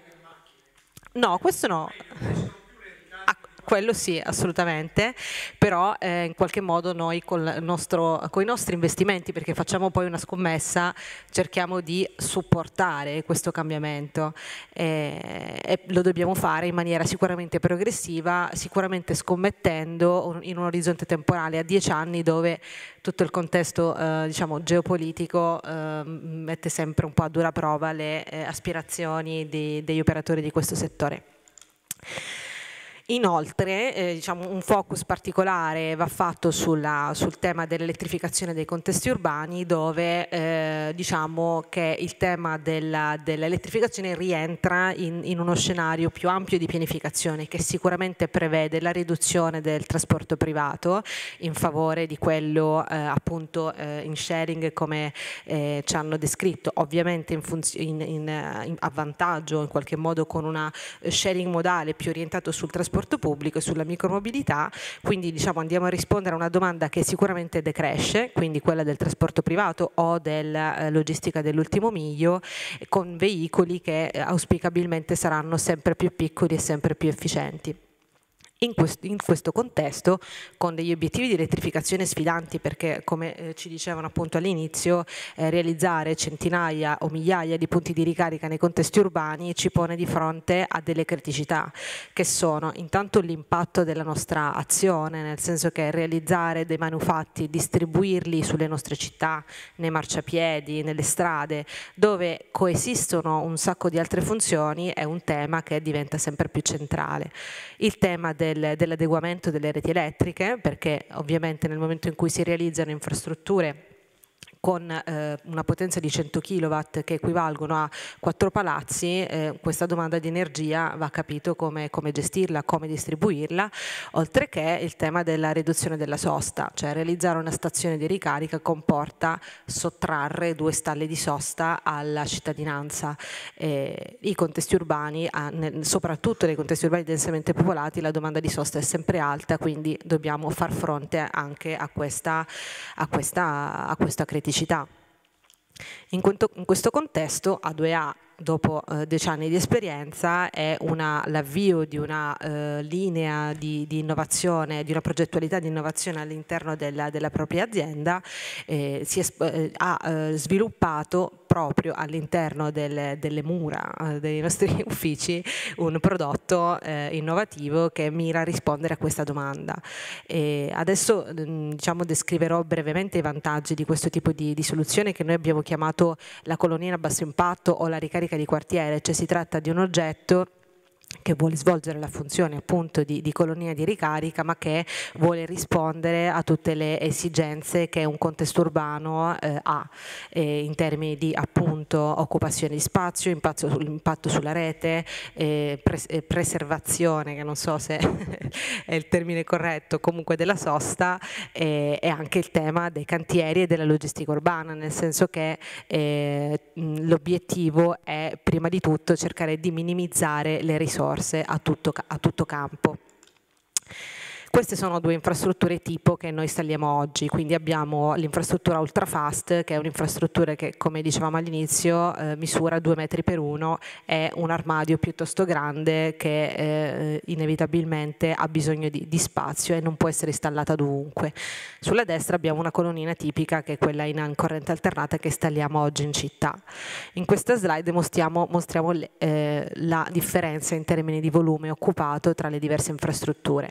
Quindi quindi abbiamo la eh, colonnina che chiamiamo colonnina fast, quindi quella che abbiamo visto all'inizio, il nostro obiettivo attendere era il dissuasore della sosta, tutto a destra, diciamo, ci siamo quasi arrivati con la colonnina City Plug, che eh, eh, è praticamente in termini di volume pari alla metà di una colonnina Quick, che è già abbastanza piccola, che su Milano immagino che molti l'abbiano vista, è ben il 90% meno rispetto ad una colonnina Fast, quindi in termini del nostro principale obiettivo, quindi quello della salvaguardia dello spazio urbano e della tutela anche del, dell'aspetto paesaggistico dei nostri contesti urbani, ci siamo eh, quasi arrivati. In questa slide infatti è, è, un rendering di quello che potrebbe essere lo scenario futuro, le city plug neanche si vedono e questo per noi diciamo, è, era l'obiettivo che volevamo raggiungere. Dal punto di vista energetico, eh, la, le, le, queste infrastrutture che abbiamo ipotizzato eh, hanno un grosso vantaggio attraverso e grazie al Dynamic Load Management, quindi un, un sistema innovativo di distribuzione dell'energia sulle prese di ricarica, a parità di potenza di contatore, cioè 30 kW, riusciamo ad alimentare in maniera dinamica 7 prese. Immaginiamo, partendo dal presupposto che proprio sulla base dei dati delle nostre colonnine già installate, noi oggi vediamo che la potenza media su una ricarica quick, cioè quella che vediamo eh, in questa slide eh, a sinistra, è eh, pari a 3, va dai 3 ai 7 kW. Le colonnine quick sono dimensionate per una potenza pari a 22 kW per punto di ricarica, quindi c'è sicuramente un eccesso di, di, di, domanda di energia che viene saturata in realtà senza averne eh, realmente bisogno. Proprio per questo abbiamo pensato ad un sistema di ricarica a bassa potenza distribuita che eh, tuteli eh, in qualche modo la eh, disponibilità di potenza delle nostre reti e che sia quanto più efficiente possibile. Analogamente in termini di cantieri, soprattutto in una città, nelle città del nord eh, dove avvengono tante cose, tanti eventi, tanti cantieri, è importante cercare di ridurre, minimizzare il più possibile l'impatto della realizzazione di queste, di queste opere. Per questo eh, a parità di punti di, di, di ricarica si riduce dell'85% il numero di cantieri necessario per realizzarle con questo tipo di infrastruttura. Ed in più eh, abbiamo i, sviluppato uno strumento di pianificazione strategica delle localizzazioni che prende come eh, un, una serie di dati che produciamo sia interna internamente attraverso l'erogato delle nostre infrastrutture, che è sicuramente un punto di, di partenza importante, eh, insieme a dati di traffico, dati di geoanalisi per la distribuzione, eh, il numero di infrastrutture esistenti e pianificati nostre degli, altri, e degli altri operatori, in maniera tale da fare una pianificazione che sia quanto più intelligente possibile e con l'obiettivo che attendere cerchiamo di, di, raggiungere, di arrivare alle conferenze dei servizi con delle soluzioni quanto più vicine alla, alla soluzione definitiva. Poi sicuramente a questo a questi layer informativi possono essere aggiunti tanti altri layer che sono specifici dei territori, come diceva all'inizio il collega del Comune di Milano eh, Confalonieri, i dati che riguardano le, la rigenerazione urbana, quindi la mappa che identifica i cantieri previsti, le, le piste ciclabili eh, e qualsiasi altro layer informativo che dà informazioni sull'uso del suolo non può che essere utile a chi fa questo mestiere, cioè noi come, come eh, operatori nel mondo della mobilità mobilità elettrica per pianificarle in maniera coerente sia con la domanda che con le esigenze del territorio. Questo progetto si inserisce anche in un'ottica di, di, pianificazione della città dei, dei, 15 minuti proprio perché eh, capiamo perfettamente che eh, si tratta di un servizio che noi immaginiamo di proporre in maniera estensiva ai territori e in questo modo ci immaginiamo che ogni quartiere con dei raggi di circa eh, 400 metri, quindi con 5 minuti di walking distance, possa essere dotato chiaramente in uno scenario futuro, attendere una progettualità eh, di una stazione di ricarica nella propria prossimità che diventa la vera e propria propria eh, ricarica di quartiere per, per i cittadini. Abbiamo iniziato questa sperimentazione a Brescia eh, che, eh, con la prima inaugurazione ad aprile dell'anno scorso e questo breve video che non so se riuscirò a proiettare a far partire perlomeno, non so se dalla regia mi aiutano, racconta quello che abbiamo fatto.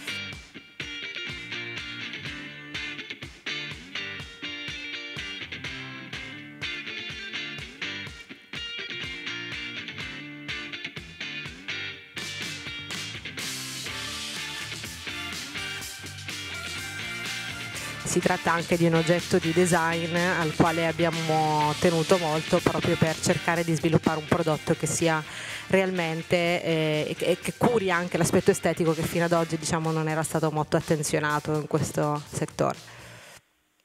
Grazie.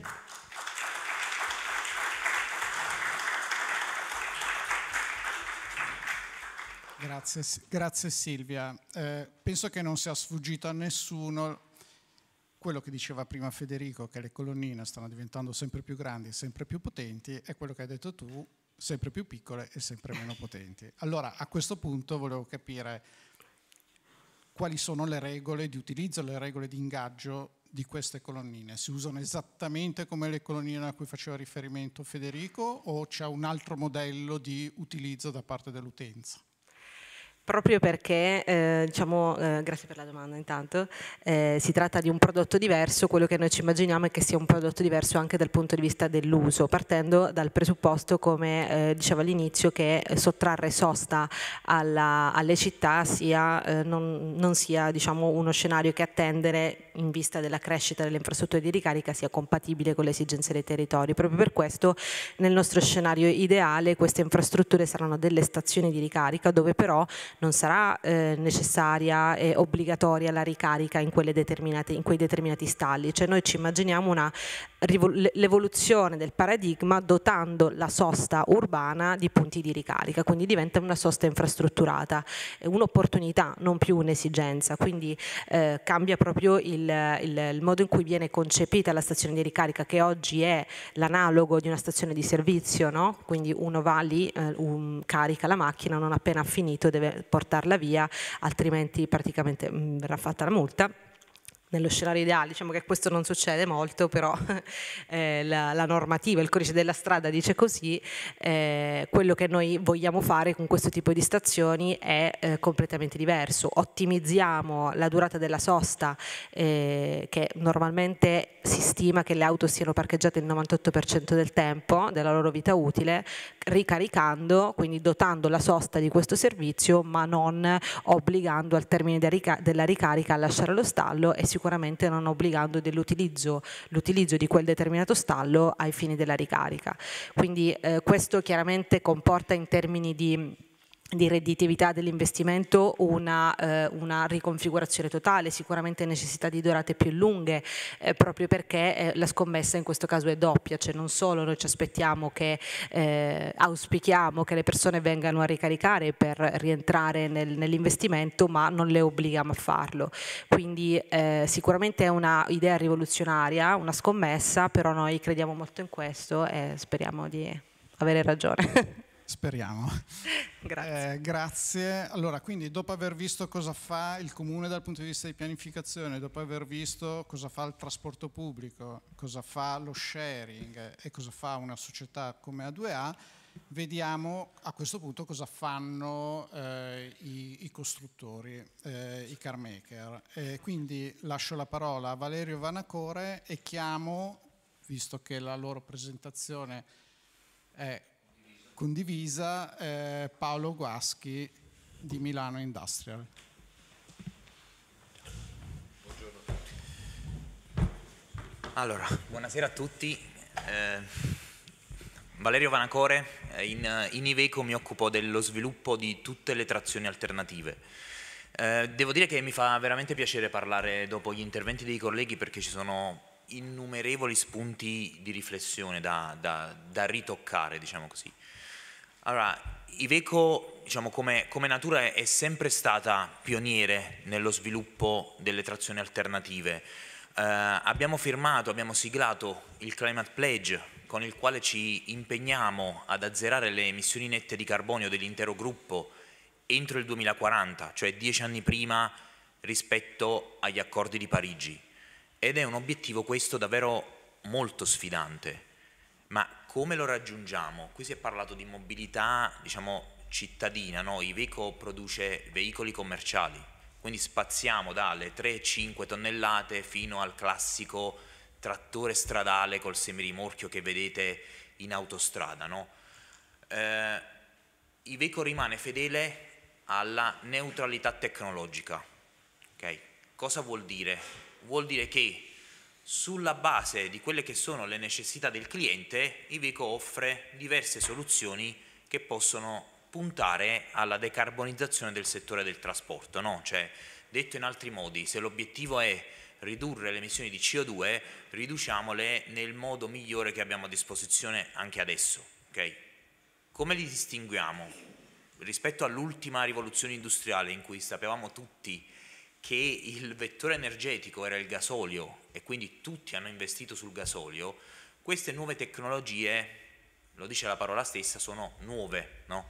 quindi non sono tutte uguali, dimentichiamoci di fare tutto quello a cui eravamo abituati prima con la nostra vettura diesel, con una, una vettura a trazione alternativa, no? ci sono delle differenze. Okay?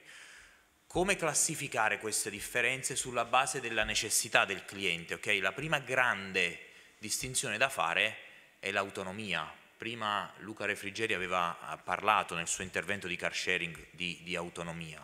Okay? Lungo raggio, per noi lungo raggio vuol dire più di mille chilometri, mille, duemila chilometri. È chiaramente una mission questa difficilmente elettrificabile con la tecnologia attuale. Per cui noi come costruttore vediamo ancora il biometano o HVO, quindi i famosi biocarburanti, e nel futuro l'idrogeno, perché la tecnologia attuale permette di pensare a una missione di lungo raggio in quel modo. Man mano che scende la richiesta di autonomia, iniziano a subentrare, a, a, a possiamo contare sui veicoli 100% elettrici. Il macro trend, adesso le città si stanno comunque continuando ad allargare, le periferie si stanno spopolando, si continua ad acquistare su internet, il 95% degli acquisti nel 2040 sarà online, quindi consegna dell'ultimo miglio, tutti questi servizi verranno fatti con veicoli 100% elettrici. Quindi Iveco sviluppa fondamentalmente queste quattro tecnologie. Dividiamole, ok? Trasporto leggero, consegna dell'ultimo miglio, sono veicoli e una mission, questa è elettrificabile. Quindi contiamo soprattutto sulle istituzioni, sulle città che stanno continuando, e ne è un esempio quello che è stato appena citato, continuando nell'opera di elettrificazione, nella dotazione di colonnine di ricarica per abilitare questi veicoli. E vediamo la, la linea blu che cresce con una rapidità abbastanza importante fino al 2035, in cui la maggior parte di queste missioni saranno effettuate con veicoli elettrici.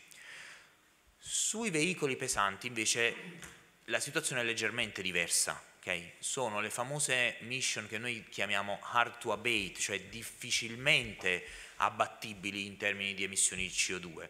Quindi che cosa facciamo in questo caso? Promuoviamo i biocarburanti.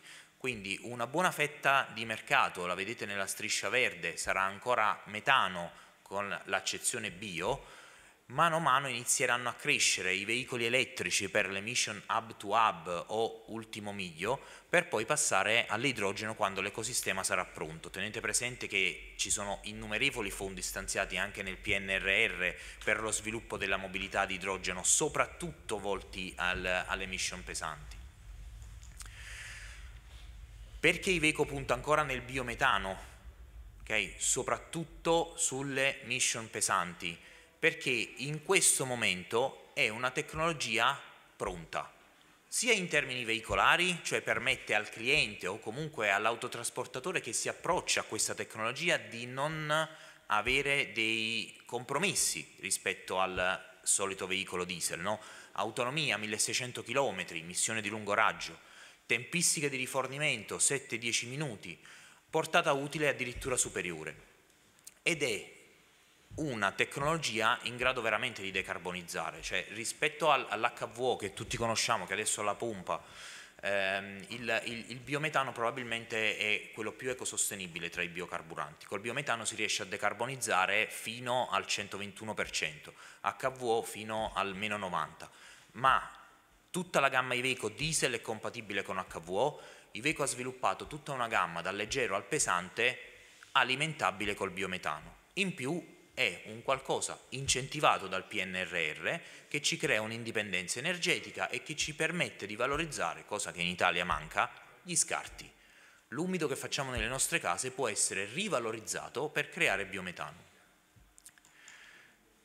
Passiamo invece al topic di questo incontro, no? i veicoli elettrici. Iveco è uscita con un veicolo per noi chiave, il Daily. Okay? Perché lo chiamo il Daily e non l'Ideli? Perché l'Ideli che vedete in piazza, esposto, è semplicemente la versione elettrica del Daily a cui tutti siete abituati. Okay? Quindi le stesse caratteristiche, robustezza, affidabilità, facilità di allestimento, eh, caricabilità, eh, sono tutte cose che abbiamo provato a ribaltare anche sull'equivalente versione elettrica. Okay? Quindi paradossalmente voi potete prendere un veicolo daily allestito diesel e traslare il suo allestimento sull'equivalente versione elettrica.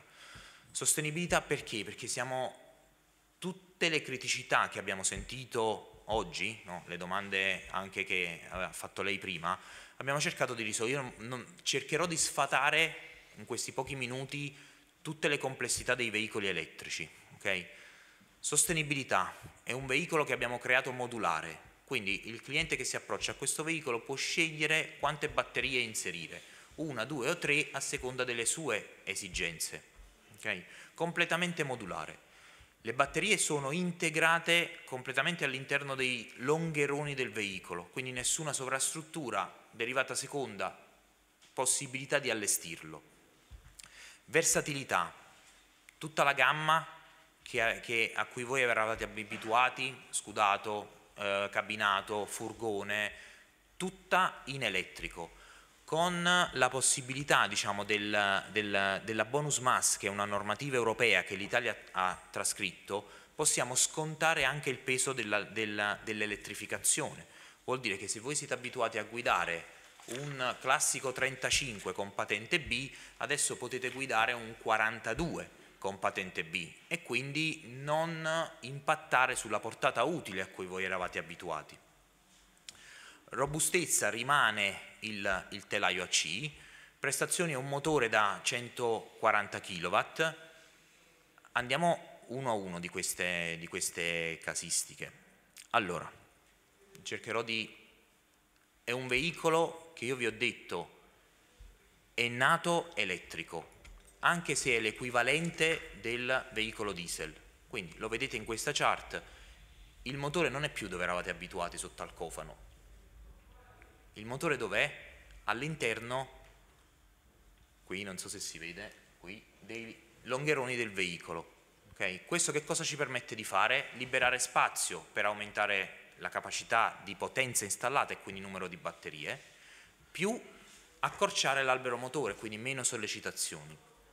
Okay? Nessun elemento sporgente sul telaio.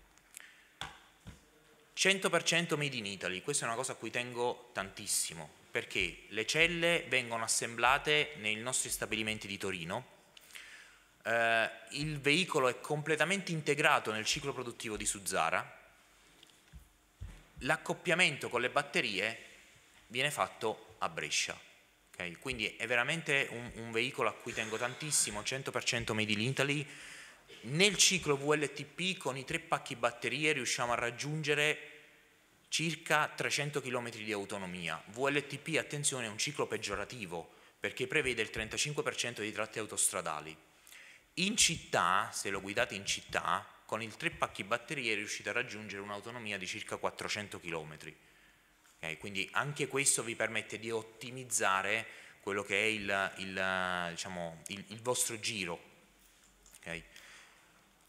Modalità di ricarica, e qui arrivo a quello che è un altro spunto di, di riflessione, perché purtroppo diciamo, le colonnine si stanno facendo sempre più piccole, ma le auto stanno implementando la tecnologia delle batterie. Okay? I veicoli commerciali ancora peggio, okay? quando si tratta di un veicolo commerciale uno, due o tre pacchi batterie vuol dire passare per l'Ideli da 37 a circa 110.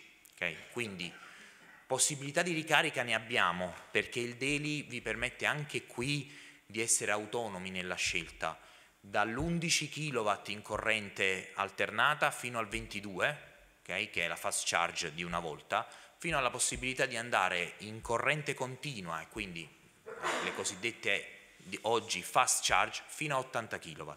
Questo vi permette di ridurre al minimo le tempistiche necessarie di fermo del veicolo. Okay?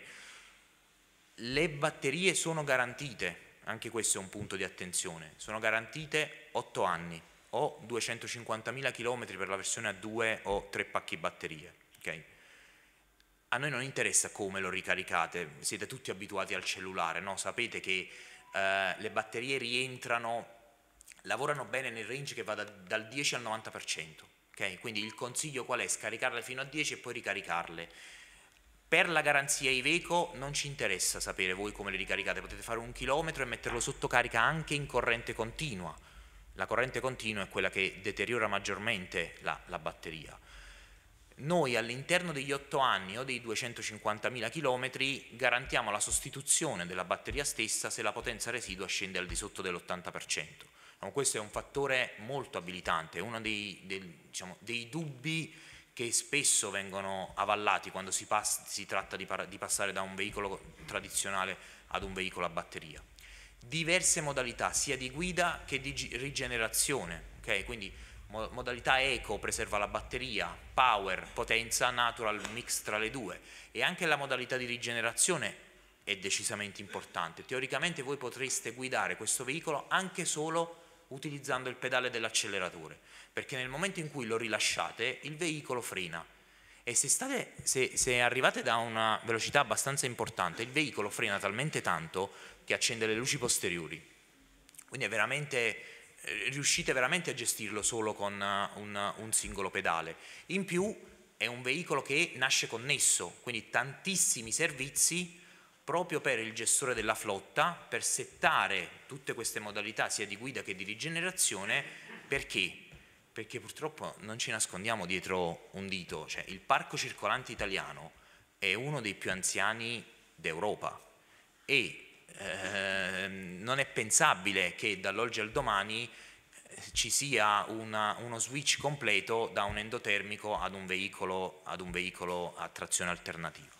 Per cui dobbiamo trovare una soluzione, noi come costruttori dobbiamo trovare una soluzione che possa rassicurare il cliente che sceglie questa modalità alternativa, ma anche assicurare il suo di business, che alla fine i conti a fine mese devono sempre, devono sempre tornare. No? Vi dicevo prima dell'allestibilità. Anche qui, tre diverse soluzioni. Ehm, presa di forza a basso voltaggio, 2 kW e mezzo per sponde, esempio. Presa di forza ad alto voltaggio, 15 kW per allestimenti frigo, i motor ausiliario per compattatori. Quindi anche qui una soluzione completa che può diciamo, baciare diverse tipologie di mission, soprattutto nella città, che è dove questo veicolo può avere il suo habitat naturale.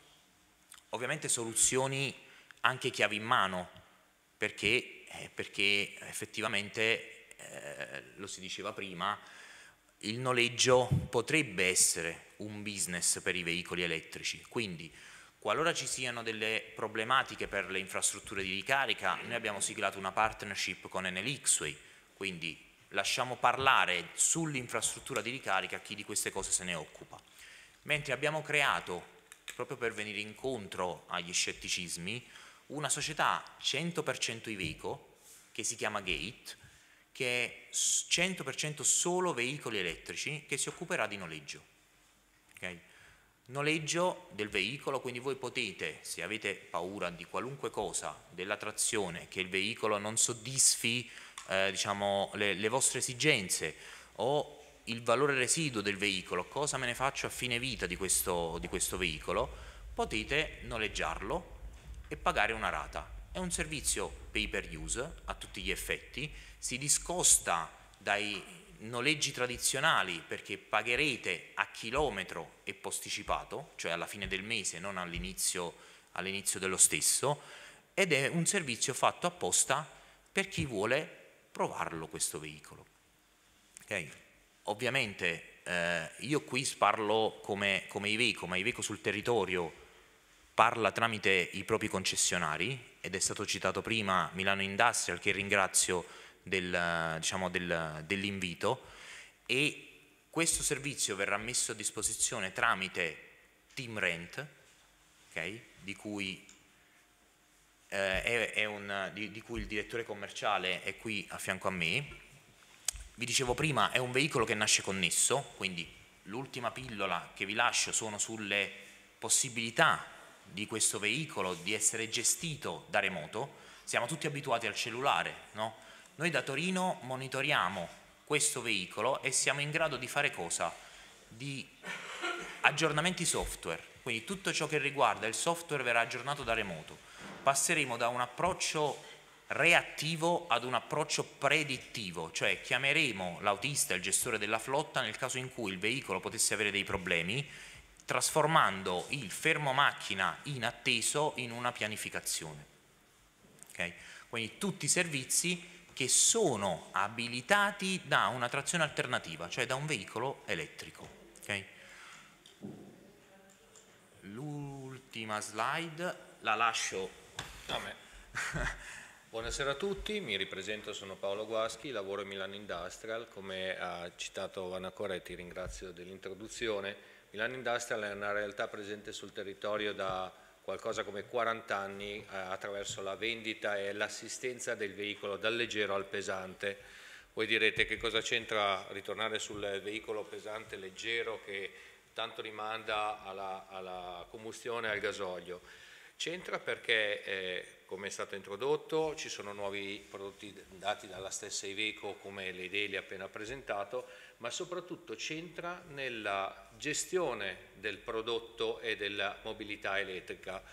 Eh, poche un'ora fa circa, quando c'è stato l'intervento del giornalista, il dottor Sposini, ha fatto un'affermazione che personalmente forse da commerciale mi ha in parte infastidito, ma assolutamente vera ha detto noi utilizziamo, quando siamo utilizzatori dei veicoli elettrici ci rivolgiamo a dei venditori che spesso sono in grado esclusivamente di, parlarti magari del cerchio da 23 o del tetto apribile.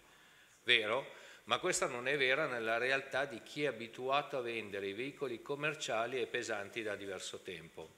Perché nella nostra magari eh, meno, meno, appariscenti dei venditori di salone delle, delle vetture, eh, meno eleganti, abbiamo imparato a capire quelle che erano le esigenze del nostro cliente che ci chiedeva non un prodotto emozionale, ma ci chiedeva un prodotto che gli servisse da, per portare la merce dal punto A al punto B nel modo più conveniente. Quindi noi eh, abbiamo imparato a trattare la vendita al di là di portare a casa i soldini tutti i giorni per riempire il cassetto, che penso sia utile e trasversale a chiunque, ma sicuramente chiedendo al cliente che cosa effettivamente gli serviva, cosa era necessario per ottenere il suo obiettivo. L'elettrico, se ne sta parlando e ringrazio dell'invito da diversi giorni, è un insieme di queste esigenze, solo forse adesso negli ultimi anni finalmente si sta capendo quali sono i punti, i punti, i punti saldi. Io ho iniziato a trattare l'elettrico eh, qualche anno fa, vi dico solo una cosa, mi ricordo una panda del comune di Milano elettrificata a piombo, stiamo parlando dell'epoca eh, delle pietre praticamente, da allora a oggi dei passaggi ne sono stati fatti tanti e sono felice di aver sentito alcuni interventi soprattutto di società, di enti pubblici come appunto l'ATM, la 2A eccetera, che tra l'altro sono anche nostri clienti, perché stanno dimostrando di avere l'approccio giusto nei confronti della mobilità elettrica. Mi piacerebbe che eh, gli utilizzatori, sia noi come privati, come eh, utilizzatori, come driver, ma e soprattutto come società, dimenticassimo tutti quei luoghi comuni che finora sono circolati. Penso che ognuno di voi per esperienza ne abbia sentiti di tutti i colori. Carico la macchina in 10 minuti, ma cos'hai? Qual è il tuo caricabatterie? Che batterie hai? Eh, non ho la batteria, poi, poi ci sono quegli, gli aspetti negativi, il costo delle batterie, l'affidabilità, l'efficienza e quant'altro. Allora, questa è un'operazione che ci coinvolge tutti, ovviamente le aziende da un punto di vista economico, ma soprattutto ci coinvolge anche come cittadini nel rispetto dell'ambiente. Allora, al di là di andare a fare mh, delle crociate su, nei confronti della mobilità elettrica a tutti i costi, è necessario che ci riappropriamo della conoscenza del prodotto, chi vende e chi acquista. E questo l'hanno, ripeto, l'ho appena accennato, l'hanno capito molto bene società come A2A, come l'AMSA, che è da tempo che sta sfruttando dei veicoli elettrici, proprio perché si sono resi conto che i veicoli elettrici al di là delle fasi iniziali dove si diceva che eh, l'autonomia è un problema, le batterie non sono affidabili e vi discorrendo, hanno dimostrato che utilizzandole con un uso consapevole e sapendo e analizzando esattamente il proprio ciclo d'uso, il veicolo elettrico è assolutamente confacente alle loro esigenze e alla loro realtà. E quindi questo dimostra, tra l'altro, in attività come appunto quelle ho citato quella dell'ANSA, ma potrei citare quella dei corrieri, delle logistiche, di chi trasporta alimenti, di come si possa evitare decarbonizzare ognuno di noi tutti i giorni, passando, facendo la transizione da endotermico ad elettrico. Eh, I numeri che si vedono in Italia sono sicuramente inferiori rispetto all'Europa. Purtroppo ci attestiamo attorno a percentuali, poi sono variabili, qualcuno di noi diceva è inutile che do il dato adesso perché tanto fra sei mesi sarà diverso, è vero, ma purtroppo i nostri numeri cambiano lentamente. Noi abbiamo dei numeri che si attestano attorno al 5% per le autovetture, ma non sono molto distanti neanche per i veicoli commerciali. E questo forse ci dovrebbe far pensare, perché se negli altri paesi, Spagna, Germania, Francia, questo modello funziona, cos'è che non sta funzionando da noi? Io la vedrei in maniera molto semplice, quando un problema è complesso lo andrei semplicemente a scomporre in ogni, singola, uh, in suo, ogni suo singolo argomento. Il, la realtà è che... Prego. L'argomento va visto semplicemente andando a guardare perché, ripeto, stavo dicendo, dalle altre parti funziona, da noi no, perché probabilmente non è che ci manca la tecnologia, anzi, noi italiani abbiamo già dimostrato anni fa di aver creato delle aziende di produzione di batterie, di veicoli stessi, molto più innovative di tanti altri paesi dei nostri cugini francesi piuttosto che tedeschi. Forse noi ci imbattiamo in tante piccole problematiche che abbiamo detto prima, abbiamo sentito prima, ehm, non mi ricordo il nome, scusami, per quanto riguarda l'intervento delle colonnine, piuttosto che della burocrazia, piuttosto che la difficoltà nel eh, armonizzare tutti i sistemi di carica piuttosto che di rimessaggio, piuttosto che di batterie stesse.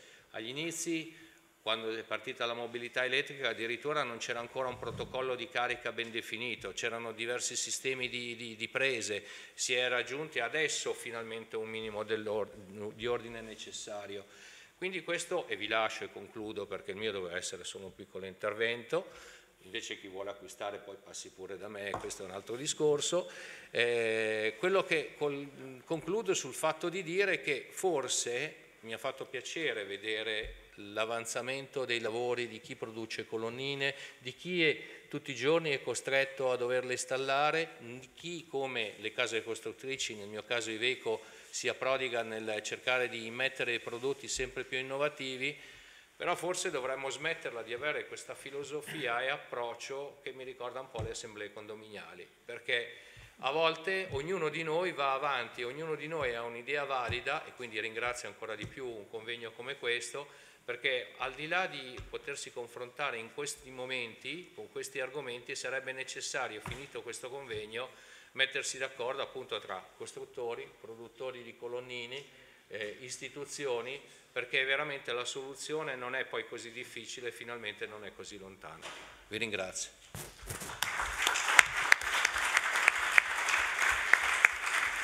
Bene, allora abbiamo concluso il primo blocco, quindi chiedo un altro applauso a tutti.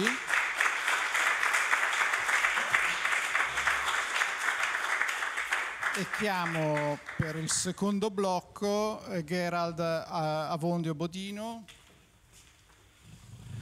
Massimiliano De Masi, Valeria Braidotti e Marco Maria Mele.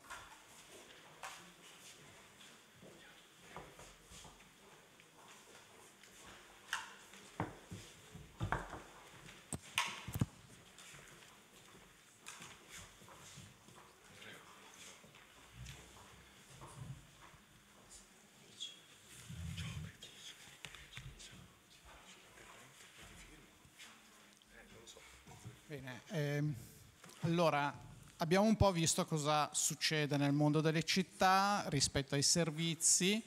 In questo secondo blocco vediamo cosa succede sempre dal punto di vista della ricarica. In realtà io conoscevo Scame rispetto alla tipologia di presa, ma mi sembra di capire che si occupa eh, di ricarica nel caso specifico. Poi vediamo che cosa succede dal punto di vista della logistica urbana un tema invece eh, credo che sia la prima volta che trattiamo all'interno di questo convegno di EMOB il tema del mobility management e quindi cosa fanno le aziende dal punto di vista del mobility management per elettrificare e spingere verso l'elettrico. E infine eh, vediamo, vedremo sempre dal punto di vista della, eh, dei, diciamo, della, delle società private rispetto ai servizi per le città. Quindi lascio la parola a Gerald rispetto alla sua presentazione. Scame, giusto? Esatto, sì. Buonasera a tutti e grazie Valentino per l'introduzione. Eh, ci dovrebbe essere una presentazione, ecco è questa, andiamo avanti.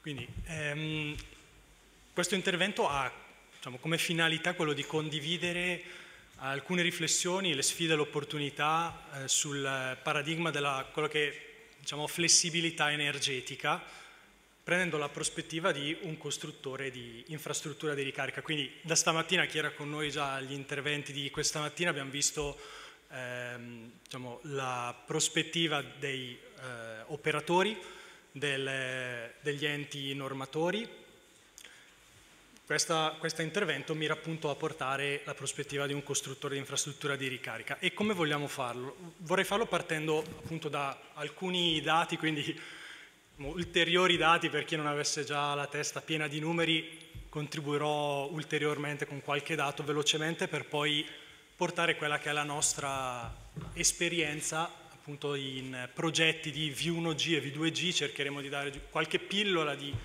che cosa intendiamo con con queste terminologie per poi concludere con alcune riflessioni. E per far questo io partirei appunto dalla numerosità dei veicoli, ho sentito un po' di riflessioni durante la giornata, eh, se c'è abbastanza potenza, energia per ricaricarli tutti, quindi prendendo poi una prospettiva che sia sovranazionale, non concentrandoci solo sulla Italia, ma prendendo la prospettiva globale, avere un'idea di quanti sono i veicoli globalmente mi sembrava interessante per introdurre il discorso. Quindi al 2022 siamo intorno ai 25 milioni di veicoli e il tasso di crescita diciamo, anno su anno è del 60%. In Europa sono 10 milioni.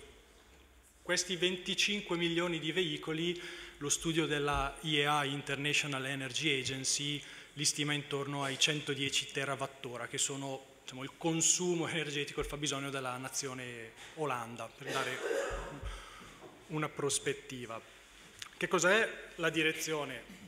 Tutte le simulazioni avrete sentito il 2030 come data, diciamo, la prima tappa alla quale poi cercheremo di confrontarci, quindi al 2030 ci sono diversi scenari, queste sono simulazioni, però dai 25 ci sarà teoricamente un per 10, quindi potremmo arrivare a 250 milioni di veicoli, che comunque all'interno di questo rapporto della IEA non vedono come eh, problematico da un punto di vista dell'energia. Se i 25 milioni di veicoli oggi rappresentano eh, l'1% del fabbisogno energetico, questi 250 milioni di veicoli nel rapporto si parla di un 4-5% sul fabbisogno energetico. Quindi questo era il lato veicoli e numerosità. Dopodiché passiamo all'altro lato no? dell'infrastruttura di ricarica, la numerosità. E, e, qui secondo me il grafico è diviso in due. Sulla sinistra sono le fast charge e sulla destra quelle, quelle chiamate slow. I colori rappresentano le diverse nazioni geografiche e, e qua insomma, io non voglio aprire dibattito che, che, non è finalizzato alla flessibilità energetica, però vedere che il 90% delle stazioni fast siano installate in Cina chiaramente dà un vantaggio competitivo a una certa area geografica, quindi economie di scala per costruttori di infrastruttura. Questo secondo me ci deve far riflettere in termini di eh, sistema geopolitico. L'Italia, allora, l'Italia dove, dove, si posiziona? In termini di infrastrutture di ricarica, penso che l'abbiamo ripetuto più volte oggi, al 2022 stazioni pubbliche sono intorno alle 40.000, 39.000 punti di ricarica installati. Sul grafico di destra invece si vedono le infrastrutture ad accesso privato, è un dato un pochino più complicato da recuperare, quello dell'infrastruttura privata, quindi non sempre disponibile, ma in questo caso, grazie anche al lavoro del Politecnico di Milano, questo è un estratto del loro report di eh, un mesetto fa, si vede il lavoro che c'è stato e l'impatto che ha avuto il 110%, il super bonus 110% sull'installato. E questo quindi salto di più 170% di infrastrutture private ha avuto effetti positivi e anche negativi, mm, senza entrare troppo nel dettaglio, però è stato sicuramente un salto molto importante per, per la nazione. Anche se, e quindi contestualizziamo questa infrastruttura di ricarica di dove siamo oggi, eh, è ancora tutto da costruire. Gli scenari ancora che si prospettano al famoso 2030 eh, di cose da fare ne abbiamo ancora tante ed è un'opportunità perché il cambio tecnologico, ed è la seconda parte dell'intervento che, che, andrò a fare, è talmente veloce che uh, avere, essere partiti troppo presto avremmo addirittura potuto uh, accumulare del debito tecnico, quindi se vogliamo prenderla in una prospettiva eh, positiva, il fatto di avere ancora tanto da fare ci permette di sfruttare eh, le tecnologie più recenti, in termini particolari poi vedremo il V1G e il V2G che implicazioni ha questo fatto.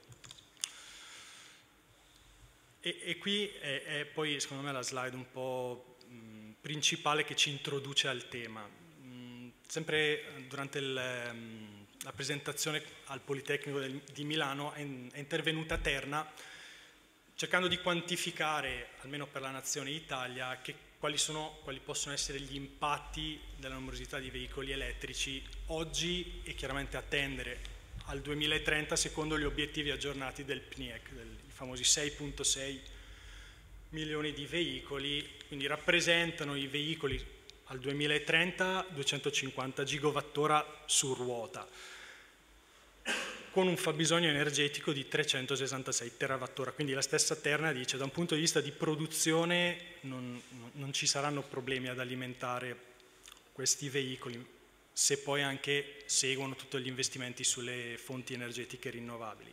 Il vero problema è, è, il picco di potenza, il collo di bottiglia è il picco di potenza col quale noi riusciamo poi a soddisfare questa domanda.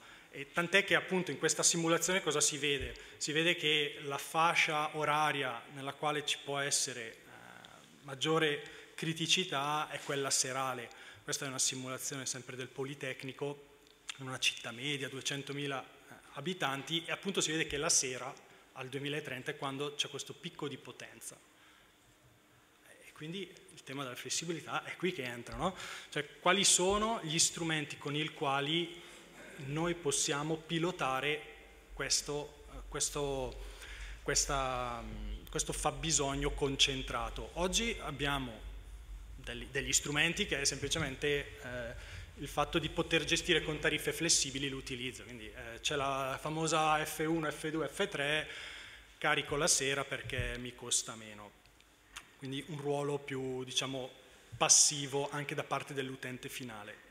I nuovi paradigmi chiamati V1G e V2G dovrebbero anche far rendere sempre di più attivo anche l'utilizzatore finale. Con V1G, quindi Vehicle One Grid, è più un paradigma eh, monodirezionale col quale si permette, eh, mi scuso con chi queste cose magari le, le, le sa, magari, però la ritengo opportuno, Vehicle One Grid con un aggregatore, un operatore a monte che in base al fabbisogno energetico puntuale può abbassare i consumi di fonti di eh, dispositivi. Questo è interessante perché la tecnologia già esiste, il V1G, semplicemente ad oggi non è stata mai entrata così fortemente nelle nostre case perché eh, permettere a un operatore di abbassarmi il forno mentre sto cucinando ha poco senso, così come abbassare il ferro da stiro. cominciare invece a poter pilotare e abbassare la ricarica del veicolo elettrico, ecco l'interesse data eh, la, il grande fabbisogno che potrebbero portare i veicoli. Quindi questo è il primo paradigma, V1G, permettere all'operatore di abbassare le potenze. Tanto io magari carico tutta notte, mi interessa poco che magari mi, mi abbassano da 3 kW a 1,5 e poi riportarmelo su. L'importante è che io la sera, la mattina successiva, il veicolo sia carico. Quindi questo è il primo aspetto e vedremo poi che cosa ci serve per poi calarlo nella realtà perché va bene i massimi sistemi, ma poi bisogna andare nell'operatività e nel co nelle cose realizzarle. E l'altro aspetto è il V2G, quindi Vehicle to Grid, questa eh, duplicità, no? io ti do energia al veicolo, poi però se mi dovesse servire posso anche riprenderla, quindi i veicoli sono proprio delle batterie che possono reimmettere, reintrodurre energia nella rete. E anche qua ci sono tutte delle considerazioni da fare. Ci sono delle considerazioni che più avanti eh, appunto è lo scopo condividiamo. L'altro grosso tema e, io oh, oh, mi fa piacere questi, questi, questi convegni perché come, come, Scambio, se non sbaglio, siamo presenti anche noi dal, dall'inizio, dalle prime manifestazioni, sono quelle che poi permettono di fare parlare i diversi, le diverse industrie. E mai come oggi si, si bisogna far parlare delle industrie che probabilmente non avevano motivo di parlarsi dei colossi come quello dell'automotive e dei colossi come quelli dell'energy. Oggi col fatto che si può avere questo scambio di energia anche a livello normativo implica che queste due industrie devono cominciare a convergere e nel mezzo l'elemento abilitante infrastrutturale è la colonnina di ricarica che si trova nel mezzo a dover mediare fabbisogni dell'automotive, fabbisogni dell'energy con il cappello sopra e l'abbiamo visto anche con Arera questa mattina di tutti gli aspetti normativi in Italia e in Europa. Quindi eh, diciamo, eh, la nostra esperienza in questo tema eh, avviene perché Scame, diciamo, se non mi ha ancora tradito l'accento, eh, è un'azienda della Bergamasca quest'anno noi compiamo il sessantesimo anniversario della fondazione, siamo nelle Alti nelle, in Val Seriana eh, a Bergamo e dal 1999 noi ci occupiamo di mobilità elettrica. Eh, diciamo, questo il mercato ce lo riconosce, abbiamo inventato il primo connettore standardizzato, quindi si trova nella normativa, primo connettore per i veicoli leggeri nel 99 e poi nel 2010 realizziamo, quindi in Italia a riprova che eh, le industrie in questo senso nella nazione ce le abbiamo, si sono mosse per tempo perché parliamo del 2010, realizziamo la prima stazione di ricarica in alternata. E da qui è stato poi un seguire quello che sono stati i fabbisogni de delle industrie, le diverse industrie e per questo siamo entrati nel 2018 in un progetto europeo eh, che aveva come obiettivo quello quindi di testare in campo il vehicle to grid e nel 2021 con eh, RSE abbiamo partecipato alla eh, sperimentazione del CIR. Adesso quindi eh, vorrei entrare un pochino poi dopo più nel dettaglio di questi due progetti, quindi Vehicle to Grid e V1G che abbiamo provato sulla nostra pelle e condividere quelle che sono eh, le, le, nostre esperienze e, e takeaways su questi progetti. E perché siamo riusciti a entrare dal V1G al V2G? Perché la gamma che siamo andati a sviluppare nel corso degli anni va dal caricatore di, da 3,7 kW in alternata fino alla corrente continua 150 kW e questa è una tecnologia che dominiamo internamente e non siamo dei semplici assemblatori che comprano il controllore da una parte e qualcos'altro dall'altra. Eh, Valentino ti ricordavi bene, Scame è nata facendo le prese di ricarica, quindi facciamo tutte quelle, facciamo i cavi di ricarica, tutto in Italia il controllore lo sviluppiamo in Italia, il firmware e il software. Ci abbiamo dovuto eh, penare ma eh, per colmare quelle competenze perché si nasce elettromeccanici siamo finiti a fare software e firmware. Quindi il cambio di pelle che l'azienda ha dovuto fare è sicuramente importante ma questo dominio della tecnologia, questa verticalità ci permette poi di entrare eh, a ragion veduta in questi progetti V1G, V2G e poter veramente sporcarsi le mani quando c'è bisogno di adattare qualche cosa al contesto, sia esso normativo o infrastrutturale. Quindi questa è la ragione per cui eh, Scame ha partecipato in questi progetti. E quindi per il Vehicle to Grid, parliamo del 2018, eh, lo scopo è, appunto era un progetto con Horizon 2020, quindi finanziati dalla mm, eh, comunità europea e aveva come obiettivo l'ottimizzazione sia della produzione locale di energia, quindi con pannelli fotovoltaici e l'accumulo, eh, dopodiché eh, anche la massimizzazione del suo utilizzo in una eh, microgrid, era nel, ad Osimo, nelle Marche. E, tra l'altro in questo progetto mi viene da sorridere perché c'era anche Iveco, eh, quindi, che partecipava fornendo il, il, veicolo che avrebbe poi permesso eh, il, la, la to lead per la parte dell'automotive, quindi era anche Iveco partner di questo progetto.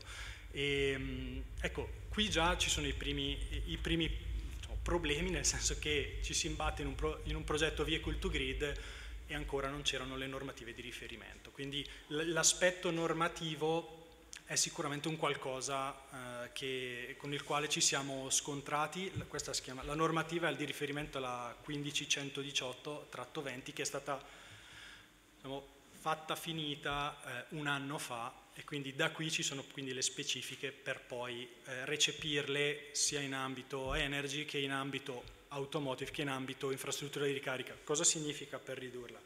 Se il veicolo non utilizza questa normativa eh, e quindi il modo in cui si scambiano i dati, l'infrastruttura di ricarica del veicolo non è normata, eh, non c'è modo di andare avanti, quindi qualcosa ci si inventa, è per questo che al tempo si parlava di prototipi, c'erano qualche cosa su cui ci si poteva appoggiare, ma gli aspetti normativi servono proprio per standardizzare. Standardizzare, e qui torniamo, veicolo, infrastruttura di ricarica e rete elettrica, quindi veramente un tema complesso che ancora diciamo, non è totalmente smarcato.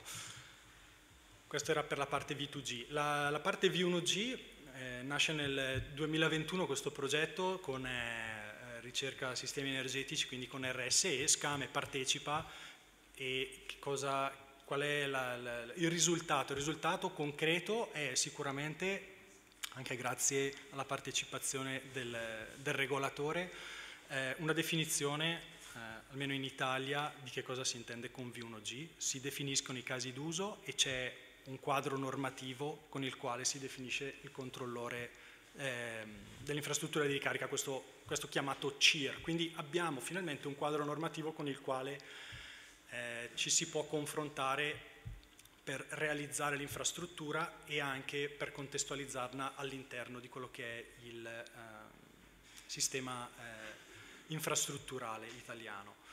E dopodiché Scame, altro obiettivo che si è riuscito a portare a casa qua è eh, unico nel mercato in questo momento italiano e mondiale il fatto di aver sviluppato una stazione di ricarica che implementa il protocollo Chain 2 che tra l'altro è una cosa molto avanzata, tipica però solo del mercato italiano, quindi eh, la spendibilità è solo sulla nazione Italia.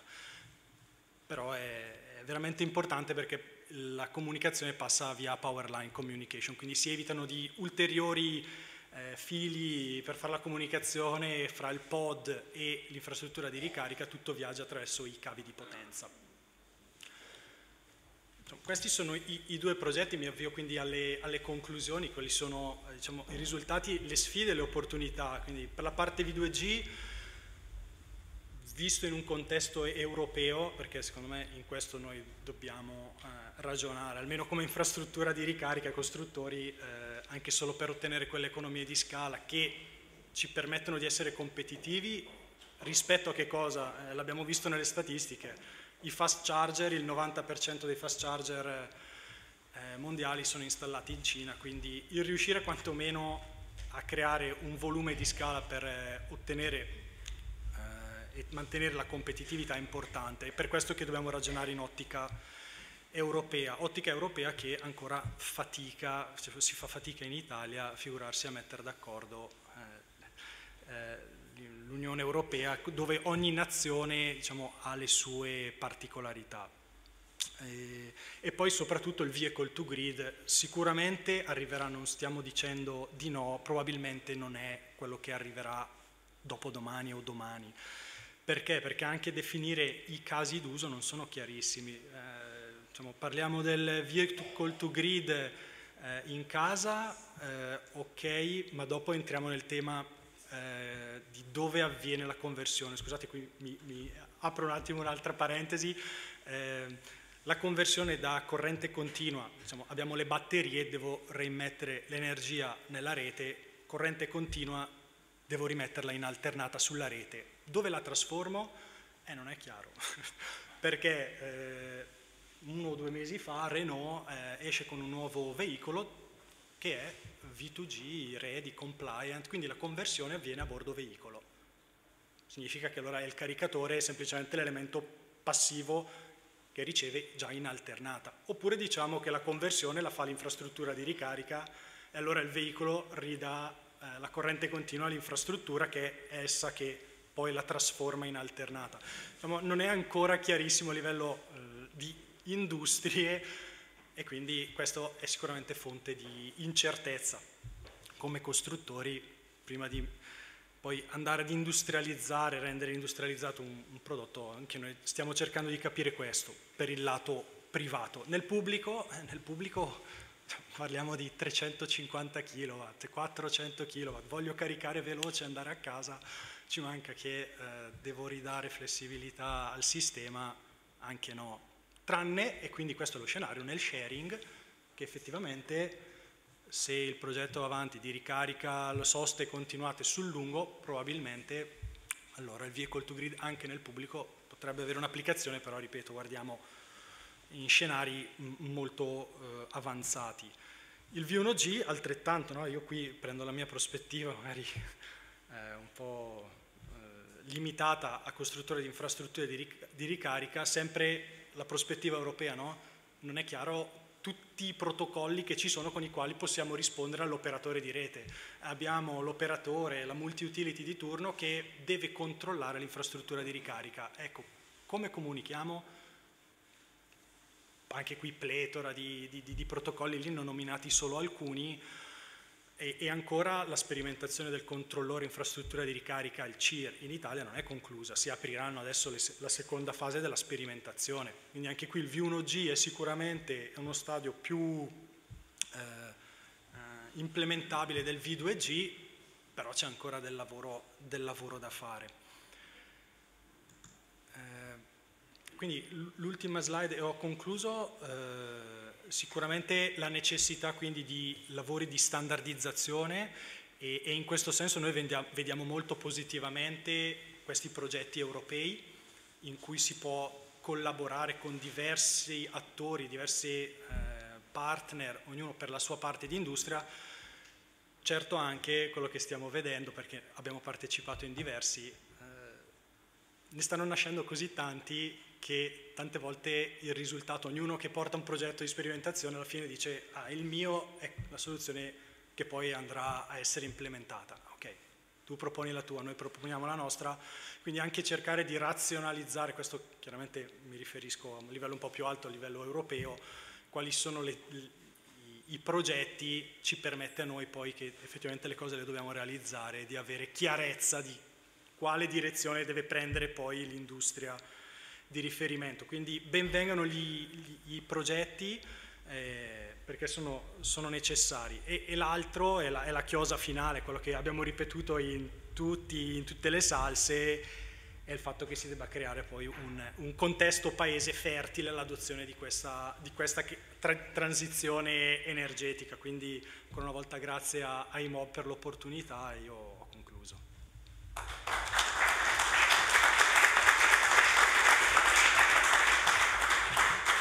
Grazie, grazie Gerald. Lascio la parola a Massimiliano eh, De Masi di Poste Italiane e a Massimiliano però chiedo una cosa. Eh, noi a Milano siamo abituati a vedere veicoli eh, di poste, veicoli elettrici. Voi siete un'azienda molto capillare sul territorio. Vorrei capire se ciò che vediamo a Milano sta avvenendo un po' eh, in tutto il territorio italiano o meno. Posso, vado avanti con questo, buongiorno a tutti. Posso confermarti? Sì, è uno standard nazionale, noi abbiamo standardizzato, siamo riusciti a standardizzare il nostro modello operativo, comunque faccio solo una piccola eh, regressione sul, sulla giornata di oggi, ho trovato veramente molti punti di contatto eh, su problematiche che abbiamo affrontato come azienda rappresentate dai principali colleghi che mi hanno prima, mi hanno prima eh, preceduto. Allora, da un punto di vista pianificazione, ad esempio, della mobilità all'interno della città con la redazione dei PUMS e quindi dei piani urbani della logistica sostenibile, dove come noi come operatore logistico siamo fortemente interessati e dei stakeholder fondamentali per la creazione di modelli sostenibili per l'accesso alle città. La parte ad esempio mh, come veicoli commerciali dalla parte di Veco, cioè la scelta ottimale della soluzione tecnologica da applicare a seconda delle missioni che deve fare l'operatore logistico, quindi trasporti di lungo raggio e sicuramente quello che può essere l'HVO è un elemento che può accompagnare poi la transizione all'utilizzo o dell'idrogeno o dell'elettrico, ma oggi spendibile sicuramente l'elettrico su eh, contesti di logistica urbana di corto raggio dove già stiamo implementando appunto soluzioni eh, BEV o comunque basso emissive fino a eh, anche all'esperienza della collega di, eh, per l'infrastrutturazione della rete di ricarica eh, con tutte le problematiche di potenza e di accessibilità anche di installazioni su siti che magari sono oggi eh, oggetto di non poter realizzare eh, installazioni all'interno dei nostri centri di distribuzione perché magari all'interno di eh, città dove ci sono dei vincoli anche eh, paesaggistici. Quindi mh, ho ho ascoltato con molta attenzione, mi sono anche, diciamo, ho trovato questi touch point in cui mi sono riconosciuto nella gestione delle problematiche e nella presentazione di oggi volevo far capire come noi abbiamo affrontato il problema. Eh, sicuramente alla tua domanda, Milano è un modello unico in cui eh, Poste Italiane ha investito per la mobilità elettrica? La risposta è no perché per noi diciamo, eh, come operatore logistico nazionale garantiamo standard eh, su tutto il territorio, sicuramente funzionali a quella che è l'orografia del territorio stesso, perché non in tutti i posti possiamo diciamo, accedere con tipologie di veicoli o con soluzioni eh, diciamo, che hanno un certo eh, impatto all'interno delle città. Noi già da 12 anni, da più di 12 anni abbiamo in flotta veicoli elettrici, quindi i cosiddetti free duck, piccolini quadricicli, erano una prima sperimentazione che veniva fuori da un progetto europeo, in cui ancora non c'era uno standard, non c'era un'industria eh, su questo. Siamo stati un po' eh, diciamo, i, cap eh, diciamo, i capifila di questo tipo di iniziativa e ci abbiamo creduto, ma abbiamo consolidato la parte comunque di ehm, eh, transizione green, quindi anche per accompagnare proprio il sistema paese a passare da quello che è un impatto significativo dell'utilizzo di eh, soluzioni ehm, diciamo di ehm, carburanti altamente eh, emissivi con eh, l'utilizzo di veicoli elettrici. Questo perché siamo ben consapevoli di quella, di quella, che oggi è la nostra magnitudo operativa quotidiana. Porto qualche eh, numero, noi abbiamo una uh, flotta uh, di circa 28.000 veicoli tra tricicli, quadricicli, eh, ehm, eh, diciamo, auto e, e van. Eh, abbiamo più di 1300 centri di distribuzione, eh, tre hub nazionali, nove connessioni eh, aeree, eh, ehm, connessioni logistiche sul lungo raggio regionali e provinciali. Quindi quotidianamente generiamo un impatto significativo in termini di, punto di CO2, di impatto emissivo. Con il nuovo piano strategico il management ha preso un forte impegno. Al 2025 si punta alla riduzione del 30% di tonnellate CO2 e qui noi al 2030 la carbon neutrale, quindi vinciamo ancora rispetto a chi aveva detto 2050-2040, quindi è una sfida, ancora più nella sfida dati i numeri che vi ho detto prima quali sono gli ambiti su cui stiamo investendo o abbiamo già eh, messo in pipeline, già investito diciamo, eh, da un punto di vista anche economico. Sicuramente c'è tutta la parte di ammodernamento della flotta, una flotta che al 2024 sarà per il 50% elettrica o basso emissiva. Eh, abbiamo puntato anche a un, un, recapito green, totalmente green, quindi eh, su ad esempio due, due siti che già sono partiti, che è in Piera e Viareggio, ma realizzeremo eh, 35 siti che gestiranno in maniera eh, basso emissiva, comunque full green, tutta la parte distributiva. Questo vuol dire che i siti sono progettati o riconfigurati eh, per eh, eh, avere quindi la produzione elettrica da fonte rinnovabile mediante eh, pannelli e la stessa elettricità per gestione dei servizi del sito ma anche per alimentare veicoli elettrici che poi andranno in distribuzione nelle città. La parte di immobili allo stesso modo tutti gli immobili sono stati riqualificati o quelli di nuova generazione, parliamo di tre hub nazionali che gestiscono tutta la parte dire, del, dello smistamento dei, dei, pacchi Amazon diciamo, che vengono poi consegnati eh, all'utenza, ecco questi nuovi tre siti hanno la più alta certificazione in termini di sostenibilità. Per passare poi alla rete punto poste, quindi noi oggi garantiamo, e si parlava qui di città dei 15 minuti, dei 5 minuti, noi garantiamo all'utente il poter prendere o conferire un pacco o comunque impostare corrispondenza entro i due chilometri. Attraverso cosa? Una rete capillare di uffici postali, una rete capillare di locker, ma anche di cosiddetti punti di prossimità, come ad esempio la rete dei tabaccai. Questo a quale beneficio? Sicuramente diciamo, per l'utenza avere un punto di prossimità e quindi diciamo, magari non, non, prendere la macchina per poter diciamo, andare a ritirare eh, un pacco secondo le proprie esigenze anche eh, personali e lavorative, ma soprattutto come rete, rete di ricapito andiamo a ottimizzare quelli che sono diciamo, i giri necessari perché parlo un po' con gergo tecnico, abbiamo la coincidence, cioè nello stesso punto andiamo a conferire un numero di pacchi eh, superiore rispetto diciamo, a dover toccare gli n punti di eh, consegna. Quindi questo è un po' lo scenario che ci ha visto partecipi e abbiamo costruito per il nuovo piano industriale che si completerà nel 2024. Ehm, un flash diciamo, su quello che oggi è la composizione della flotta elettrica per quanto riguarda eh, posti italiane. Abbiamo eh, diciamo, una vasta gamma di veicoli proprio perché è funzionale sia all'attività che deve fare il nostro, il nostro, collega portalettere, che è sempre meno diciamo, nella sua borsa a lettere e sempre più pacchi. E quindi abbiamo ehm, diciamo, aumentato quella che è la volumetria, la capacità di carico dei nostri veicoli.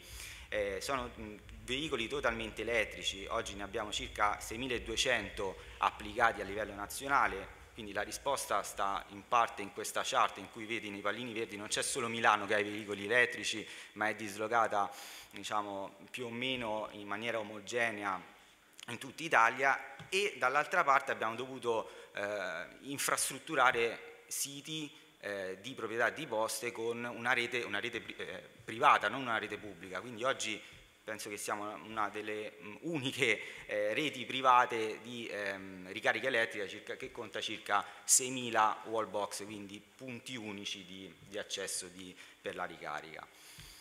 Eh, un ulteriore aspetto è, mh, mm, è una, una, flotta che sì, sicuramente ha puntato ad una transizione, a una transizione green, quindi ove possibile, ove il mercato anche ci veniva dietro, perché parliamo di numeri grandi, abbiamo avuto 2020-2021 tutta la crisi anche de, de, dei chip e quindi abbiamo avuto anche dei ritardi delle consegne, non potevamo bloccare attività operative e quindi dovevamo trovare diciamo, il giusto compromesso tra elettrificare tutto o andare in short, in short diciamo, con, con, con, le forniture e quindi abbiamo anche optato per soluzioni basso emissive, quindi il mild hybrid eh, di turno.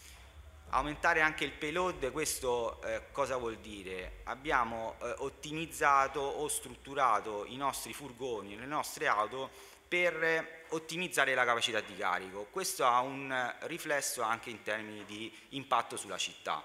Questo vuol dire sottrarre mezzi e quindi spazio diciamo, all'utilizzo de, dei veicoli all'interno della città, ottimizzando quindi il giro del portalettere, ma ottimizzando anche la sua eh, operatività, perché eh, diciamo, tutto il prodotto è compartimentato sia in maniera sicura ma anche in maniera agevole per l'operatività e questo impatta anche magari sugli stalli di sosta per esempio, quindi sono, eh, ho diciamo, un'ottimizzazione in termini di eh, fermate. E infine, e non ultimo, sicuramente la sicurezza. c'è stato eh, da, da, circa due anni un piano di dismissione di quelli che sono i veicoli a due ruote proprio per aumentare la sicurezza eh, dei nostri colleghi. E abbiamo optato per i tricicli, tricicli elettrici siamo stati tra le prime aziende in Italia a introdurli come eh, strumento di lavoro. E affiancate a questo invece sul mondo automotive abbiamo strutturato diciamo, de, delle retenzioni per il carico proprio per rendere più sicura eh, l'alloggiamento della merce e agevole in fase di, eh, di delivery per il nostro, il nostro collega portalettere. Questo è veramente in estrema sintesi il percorso che Poste sta, ha fatto e sta effettuando a completamento poi nel 2024 nell'ammodernamento della flotta e che quindi può sicuramente contribuire, dati i numeri che dicevo prima, ad una transizione eh, positiva e transizione green per quanto riguarda eh, il, il, il, sistema paese. Stiamo vedendo sicuramente la parte di idrogeno con eh, progetti Horizon, abbiamo mh, e stiamo verificando anche la compatibilità dell'utilizzo ad esempio dell'HVO per determinati eh, diciamo, furgoni e mezzi perché non tutte le cause automobilistiche ad esempio certificano il fatto che può essere utilizzato eh, l'HVO. Però ecco, mh, non siamo eh, focalizzati solo sull'elettrico ma puntiamo necessariamente ad un accompagnamento graduale eh, per quanto riguarda l'utilizzo di ogni soluzione che possa contribuire a un abbattimento delle, delle CO2. Ad oggi, come eh, diciamo in maniera prospettica un po' il ruolo, diciamo, io venivo dalla, da una responsabilità che era appunto dell'ingegneria dei trasporti e quindi nella parte proprio di pianificazione, programmazione e definizione di quella che deve essere la flotta, ora ricopro un, un, diciamo, un, un ruolo un po' più prospettico sui 5-10 anni, quindi come come possono questi i megatrend di innovazione essere eh, diciamo, ehm, implementati all'interno no, dei nostri modelli operativi. Come Poste Italiane diciamo, facciamo parte del Centro Nazionale per la Mobilità Sostenibile. In sintesi il Centro Nazionale è uno dei cinque centri eh, di eccellenza per quanto riguarda nello specifico la mobilità eh, promossi dal MIUR e mm, su fondi del PNRR che punta a, una, eh, diciamo, a trovare soluzioni, modelli, prodotti, eh, servizi di una mobilità merci e persone digitale, sostenibile e inclusiva. Come Posti Italiani diciamo, non potevamo che non accettare la sfida eh, del, del MIUR insieme a eh, circa 20 aziende nazionali e altrettanti dipartimenti di ricerca eh, e sviluppo delle università e, e insieme al CNR partecipiamo a quattro dei 14 pillar eh, SPOC eh, che rappresentano diciamo, l'ecosistema della nuova mobilità. Eh, abbiamo scelto quattro SPOC perché mh, già erano eh, nella pipeline dell'innovazione della mia divisione che è posta comunicazione e logistica. Eh, parliamo dell'Advanced Mobility, il mondo dei droni. Eh, come poste al momento non crediamo nella consegna al, all'utente finale del pacco eh, a casa del cittadino. Io abito a Roma, insomma, già immagino i bambini che fanno lo sparo, diciamo, già prendono i piccioni, immaginiamo i droni.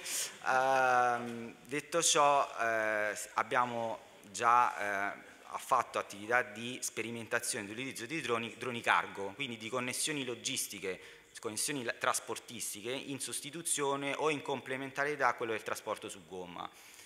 Qualche dato dimensionale del, dei droni cargo, mh, 150 kg di, di portata, eh, 100-120 km di autonomia, veicoli totalmente elettrici che possono poi aumentare loro, diciamo, eh, il loro range, la loro estensione o con soluzioni che stiamo vedendo di, swap, di battery swap, un po' emulando quello che è anche il modello oggi sul, sull'automotive, oppure la cosiddetta ibridizzazione, cioè capire dove può mh, partire l'elettrico rispetto magari a una spinta con, con il termine, sempre però avendo quel, quel bilancio eh, corretto di eh, abbattimento di CO2 rispetto a un motore termico eh, classico.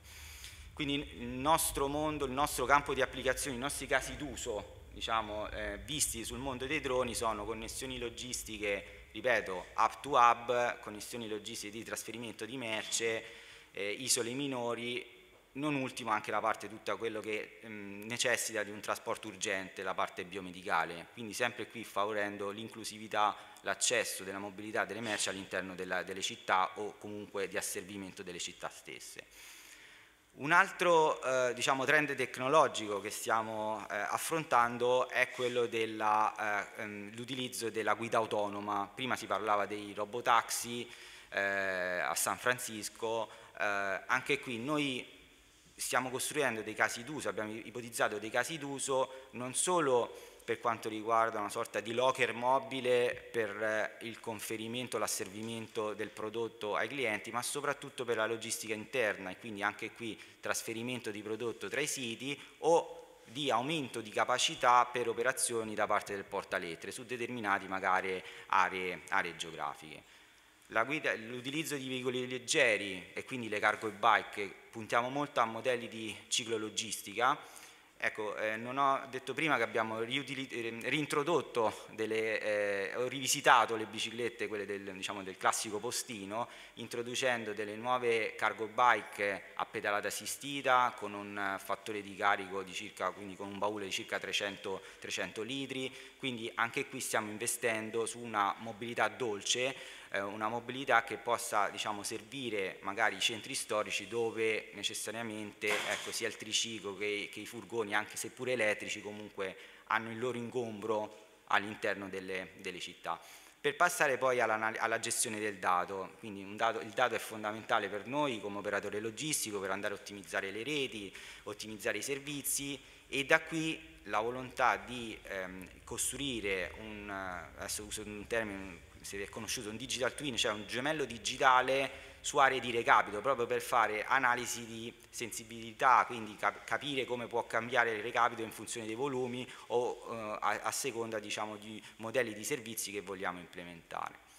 In estrema sintesi, stiamo lavorando nel presente per il, un cambio tecnologico della flotta, degli immobili e di accesso ai servizi da parte dell'utenza in maniera prospettica ma non tanto, stiamo lavorando e capitalizzando eh, trend tecnologici che eh, poi andremo a sperimentare su dei living lab, quindi all'interno di città e se diciamo, eh, hanno una loro eh, fattibilità tecnica e operativa e poi una sostenibilità economica, necessariamente saranno scalati all'interno della nostra filiera eh, logistica credo di aver diciamo, recuperato un po' di tempo Grazie. delle sessioni precedenti. Grazie ancora.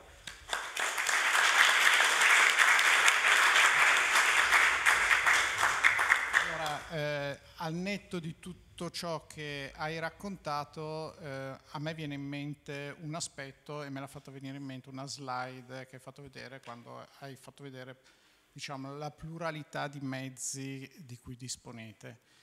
Eh, è una vecchia idea avevamo, su cui avevamo anche un po' ragionato con qualche, con qualche tuo collega, legato proprio al fatto della vostra capillarità sul territorio e magari questi veicoli, soprattutto in luoghi poco appetibili per lo sharing, negli orari in cui i veicoli non vengono utilizzati dalle poste, magari potrebbero essere messi a disposizione di quel, della, della popolazione di questi piccoli luoghi dove magari è poco conveniente per una società di sharing arrivare e posizionare la propria flotta.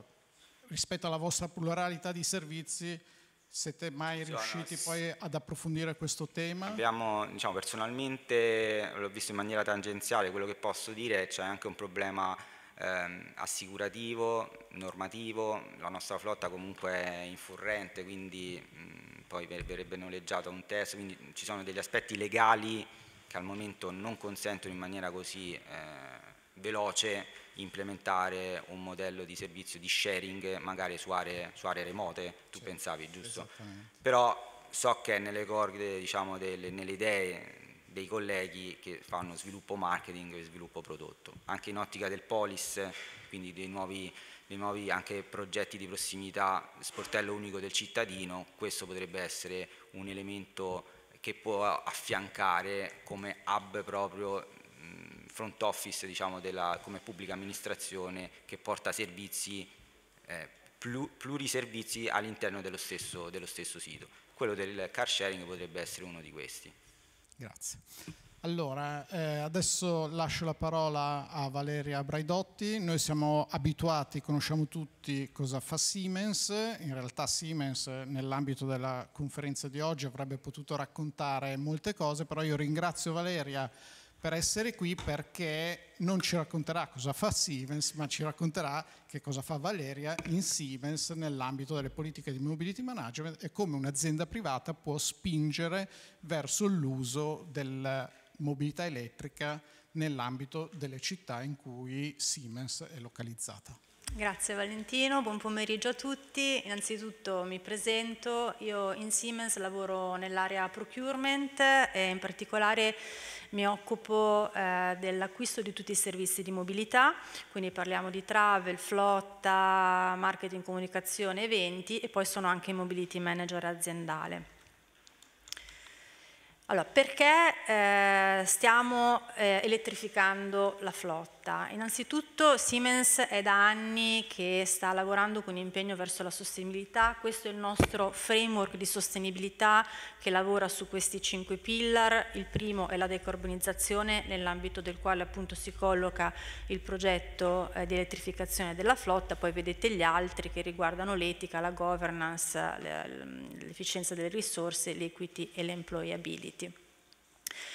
Eh, abbiamo eh, diciamo, le, le, le, principali certificazioni, sicurezza informazioni, prevenzione corruzione, qualità, poi nell'ambito ambientale, eh, diciamo, per quanto riguarda l'ambiente, io sono coinvolta in tutte le, le certificazioni, quindi energia, ambiente, eh, EMAS, eh, tutto ciò che riguarda l'impatto ambientale della, della, flotta e anche del, del piano spostamenti casa-lavoro e ehm, Siemens ha aderito al programma Evi100, non so se voi lo conoscete, però è un programma a cui hanno aderito diverse aziende eh, con un impegno chiaro di avere una flotta completamente elettrica al 2030.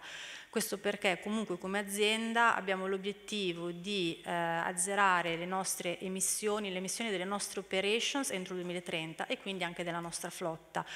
La nostra flotta eh, di fatto eh, impatta a livello di emissioni, ha una percentuale di emissioni molto importante rispetto alle nostre operations perché abbiamo già efficientato tutti i nostri edifici e, ed è quella eh, su cui in questo momento ci sono tutti i fari puntati.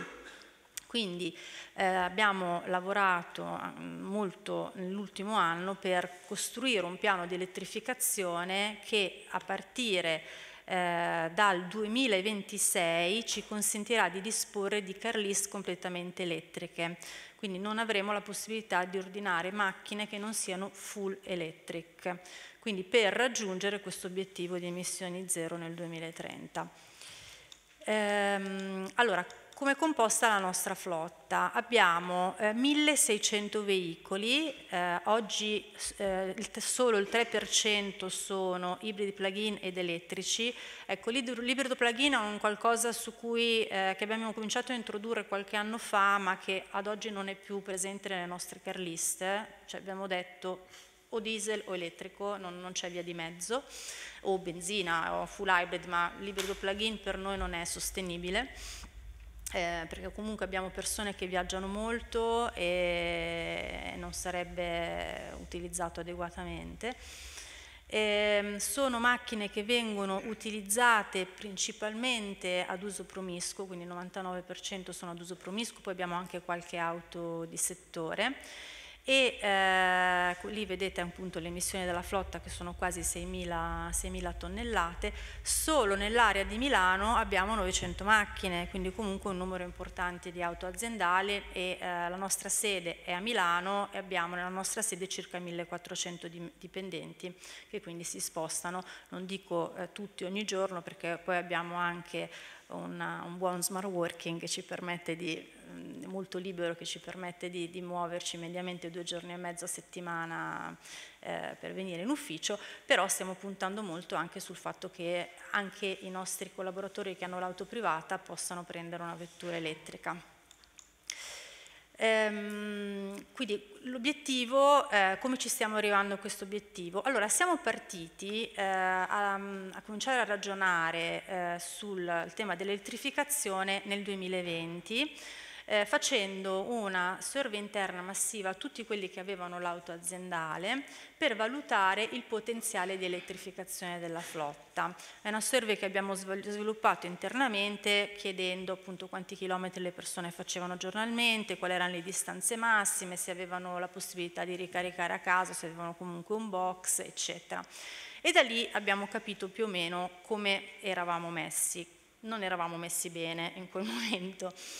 Abbiamo comunque creato un team di lavoro cross-funzionale costituito eh, da me che lo, stavo, che lo, coordinavo, poi c'erano le risorse umane, eh, c'era il nostro energy manager, il sustainability manager, c'era la funzione tax perché comunque poi dovevamo valutare anche gli aspetti poi fiscali su, sulle soluzioni che volevamo andare a intraprendere anche per la car policy e anche i nostri colleghi della funzione di business, perché noi abbiamo anche tutto un ramo di business che si occupa di ehm, ricarica elettrica, quindi abbiamo anche le nostre soluzioni che inizialmente stavamo anche pensando di dotare i nostri collaboratori delle nostre infrastrutture di ricarica a casa. E, ehm, abbiamo anche portato avanti un'iniziativa che abbiamo chiamato Sustainability on the Road per sensibilizzare le persone su come guidare in maniera eco, in maniera sicura, quindi con delle pillole settimanali che venivano mandate via mail, con un corso, con un web-based training ehm, su, su, appunto su, su come, come guidare meglio in maniera sostenibile. E poi ehm, nel 2021 abbiamo deciso di introdurre prima di ogni ordine, di ogni vettura, ecco, tenendo presente che noi abbiamo una car list user chooser, quindi ehm, i driver entrano e vedono una lista di circa una trentina di vetture composta da macchine che possono essere, come dicevamo prima, elettriche o eh, full hybrid o diesel e scegliere la vettura che, ho, che vogliono, eh, abbiamo introdotto questa pre-order survey proprio per dire ok, secondo il profilo che hai, per te è consigliata una macchina elettrica piuttosto che full hybrid, piuttosto che diesel, per indirizzarlo sulla scelta della vettura. Abbiamo anche nel 2021 regolamentato la ricarica pubblica a casa e in ufficio, la modalità dei rimborsi. Eh, poi nel 2022 abbiamo fatto un'altra survey con un OEM per valutare a quel punto il potenziale di elettrificazione della flotta e lì i risultati sono stati molto positivi, cioè già è venuto fuori un 36% di potenziale elettrificazione della flotta. Abbiamo quindi aumentato eh, le vetture eh, ai tempi ibride tra il 2017 e il 2022, ibride pagini che adesso non abbiamo più ed elettriche nelle car list, però ci siamo resi conto che cioè, fino all'anno scorso comunque pur avendo vetture elettriche in car list nessuno le sceglieva. Non, cioè, le plug-in sì perché comunque andavano anche a benzina ma le, le elettriche no. Quindi abbiamo fatto una scelta molto importante quest'anno, abbiamo detto bene, partiamo dai dirigenti, i dirigenti avranno una car list completamente elettrica, non potranno scegliere nient'altro che vetture elettriche. Eh, in primis è stato il nostro CEO che ha, ordinato la vettura elettrica, quindi eh, ha fatto da esempio e da lì oggi da aprile stanno uh, ordinando solo macchine elettriche. Abbiamo fatto questo piano di elettrificazione che poi appunto adesso da aprile 2025 tutti, quindi anche i non dirigenti, dovranno um, obbligatoriamente ordinare vetture elettriche. Questo perché noi facciamo poi contratti a quattro anni e nel 2030 dovremo avere un running fleet completamente elettrico. Allora, quali sono le principali eh, sfide eh, del piano lavoro? Qua vedete l'andamento, il piano che abbiamo fatto, ecco, indicativo, che ci porterà, eh, è molto graduale nei primi anni, perché oggi ancora gli impiegati non hanno l'obbligatorietà di scegliere l'elettrico, ma lo stiamo incentivando in modo tale che lo possano scegliere, gli unici sono i dirigenti che oggi sono obbligati, però poi ci sarà un ramp up da aprile 25, per cui eh, avremo eh, quindi moltissimi ordini elettrici. Però quali sono le sfide? Allora, innanzitutto gli investimenti, perché eh, abbiamo fatto un piano che effettivamente prevede notevoli investimenti sia per poter incentivare le macchine elettriche, comunque il noleggio, i canoni sono più alti, e quindi per riuscire a tenere in Carlis le vetture di un certo livello abbiamo dovuto aumentare i contributi aziendali e stessa cosa per anche stimolare gli impiegati a scegliere le vetture elettriche abbiamo deciso di aumentare il contributo per le sole vetture elettriche, quindi loro nella Carlista avranno una minore trattenuta per le vetture elettriche. Ehm, poi gli investimenti per le infrastrutture di ricarica, perché stiamo dotando tutte le sedi di infrastrutture di ricarica, in particolare per la sede di Milano. Stiamo prevedendo adesso ehm, un investimento che, che ci porterà ad avere circa 120 punti di ricarica tra qualche mese eh, con anche poi delle, mh, mm, diciamo delle pensiline col fotovoltaico e, e poi dopo due anni ne avremo altri 170, quindi comunque sono investimenti grossi. Eh, le altre sfide sono il fatto che mancano gli incentivi, se ne parlava anche prima, eh, allora le aziende possono fare tantissimo per guidare la transizione all'elettrico, però non abbiamo nessun tipo di aiuto e di incentivo. Ehm, la capillarità delle infra infrastrutture, eh, non mi preoccupa tanto eh, la possibilità di ricaricare delle persone che abitano nelle grandi città, perché comunque effettivamente le cose si stanno smuovendo, ma io ho persone che eh, abitano nei paesini che mi dicono, effettivamente ho verificato, che non hanno la possibilità di caricare, persone che abitano in Valchiavenna e non hanno infrastrutture di ricarica e io lì obbligarli a dargli la vettura elettrica sto facendo fatica sinceramente. Eh, c'è l'ansia da ricarica, ecco questo è un bel problema, stiamo lavorando tanto su questo per tranquillizzare le persone. Eh, I tempi di ricarica eh, sono un problema più che altro perché, mh, allora io come dicevo prima ho persone che hanno la macchina aziendale perché effettivamente fanno tanti chilometri, escono la mattina presto, tornano tardi la sera, sono tempi in più che devono aggiungere ai loro viaggi eh, e tempo in meno per le loro famiglie, quindi devono completamente rivedere, ma anche noi come azienda, noi manager che diamo poi le attività, sono tempi che dobbiamo, cioè dobbiamo rivedere completamente il lavoro eh, e questo è un cambio culturale importante. La ricarica domestica. La ricarica domestica ha una complessità oggi eh, su cui ci stiamo cervellando, tra gli aspetti fiscali, tra le complessità di installare le infrastrutture nei condomini, eh, i vincoli tecnici, le potenze, eccetera, eh, questo sta, cioè sta generando dei, dei problemi. Quindi cosa abbiamo fatto? Eh, grazie eh, al maggior contributo aziendale sono state introdotte Carlist, eh, in Carlist vetture BEV con, con elevate autonomie, ehm, c'è una vasta scelta di vettura con i migliori brand sul mercato per i dirigenti. Abbiamo deciso in Car Policy di introdurre questa cosa, cioè un noleggio a breve termine di auto termiche per ehm, se ci fossero dei viaggi particolari per cui il driver vede che non riesce a ricaricare. Per ora non è successo, però in Car Policy l'abbiamo inserito. Ehm, per gli impiegati funzionari c'è appunto questo importante contributo aziendale, mi spiace che poi le slide qua nella, si sono rovinate nel, nell'invio e abbiamo regolamentato la ricarica elettrica sia eh, a casa, quindi il fatto di poter rimborsare la ricarica elettrica adesso dovrà essere tassata se non cambia qualcosa, ehm, nelle eh, location Siemens, questo sia anche non solo per chi ha la macchina aziendale ma anche per chi ha la macchina privata per incentivare l'elettrico e per gli ospiti e poi la ricarica pubblica che noi adesso facciamo comunque con un'app con la possibilità di eh, avere ehm, quindi comunque di poter ricaricare su tutto il territorio. E poi stiamo lavorando molto, come dicevamo prima, sulla comunicazione interna, perché le persone devono essere tranquillizzate. Quindi abbiamo arricchito la nostra intranet con informazioni sulla guida elettrica, sulla modalità di ricarica. Abbiamo realizzato un vademecum per la ricarica a casa, spiegando, perché le persone poi non, non sanno neanche la differenza tra una vettura ibrida, ibrida plug-in, elettrica, i vari modi di ricarica, il cavo, la colonnina, sono concetti che non conoscono, quindi abbiamo dato proprio una guida con tutti i suggerimenti utili per poter mh, ricaricare in ambito residenziale. E poi abbiamo fatto delle newsletter eh, interne tramite il nostro SEO, fatte da noi, fatte dalle risorse umane. Stiamo lavorando tantissimo sulla formazione test drive, quindi mh, abbiamo fatto formazione specifica sulle auto elettriche, cosa sono le, le auto BEV, le, le batterie, caratteristiche tecniche, eh, la ricarica, l'utilizzo delle auto BEV con consigli pratici e, te e, tecniche di guida. Abbiamo fatto con tutti i costruttori con cui abbiamo auto in car list dei webinar che spiegano appunto le caratteristiche delle auto e della guida elettrica e poi sono venuti in azienda con le loro macchine in car list per farle testare ai driver. E poi eh, ai driver abbiamo chiesto anche di valutare queste vetture eh, e eh, diciamo, la, la guida di queste macchine.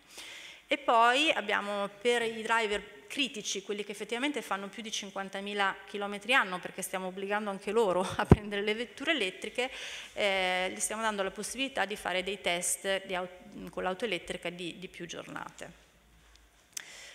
Poi abbiamo deciso di creare anche un, un steering committee, ecco perché l'altra complessità è che eh, io lavoro per tutto il gruppo, per tutte le società del gruppo, quindi ho eh, diversi interlocutori, non è un unico CEO e CFO, ma ho diversi CEO e CFO, diverse società, diverse direzioni delle risorse umane, quindi alla fine è un progetto che coinvolge, coinvolge molti attori, quindi uno, abbiamo deciso adesso di creare questo steering committee per uh, allineare le scelte del gruppo e, ehm, su, sulla tematica del piano di, di elettrificazione della flotta.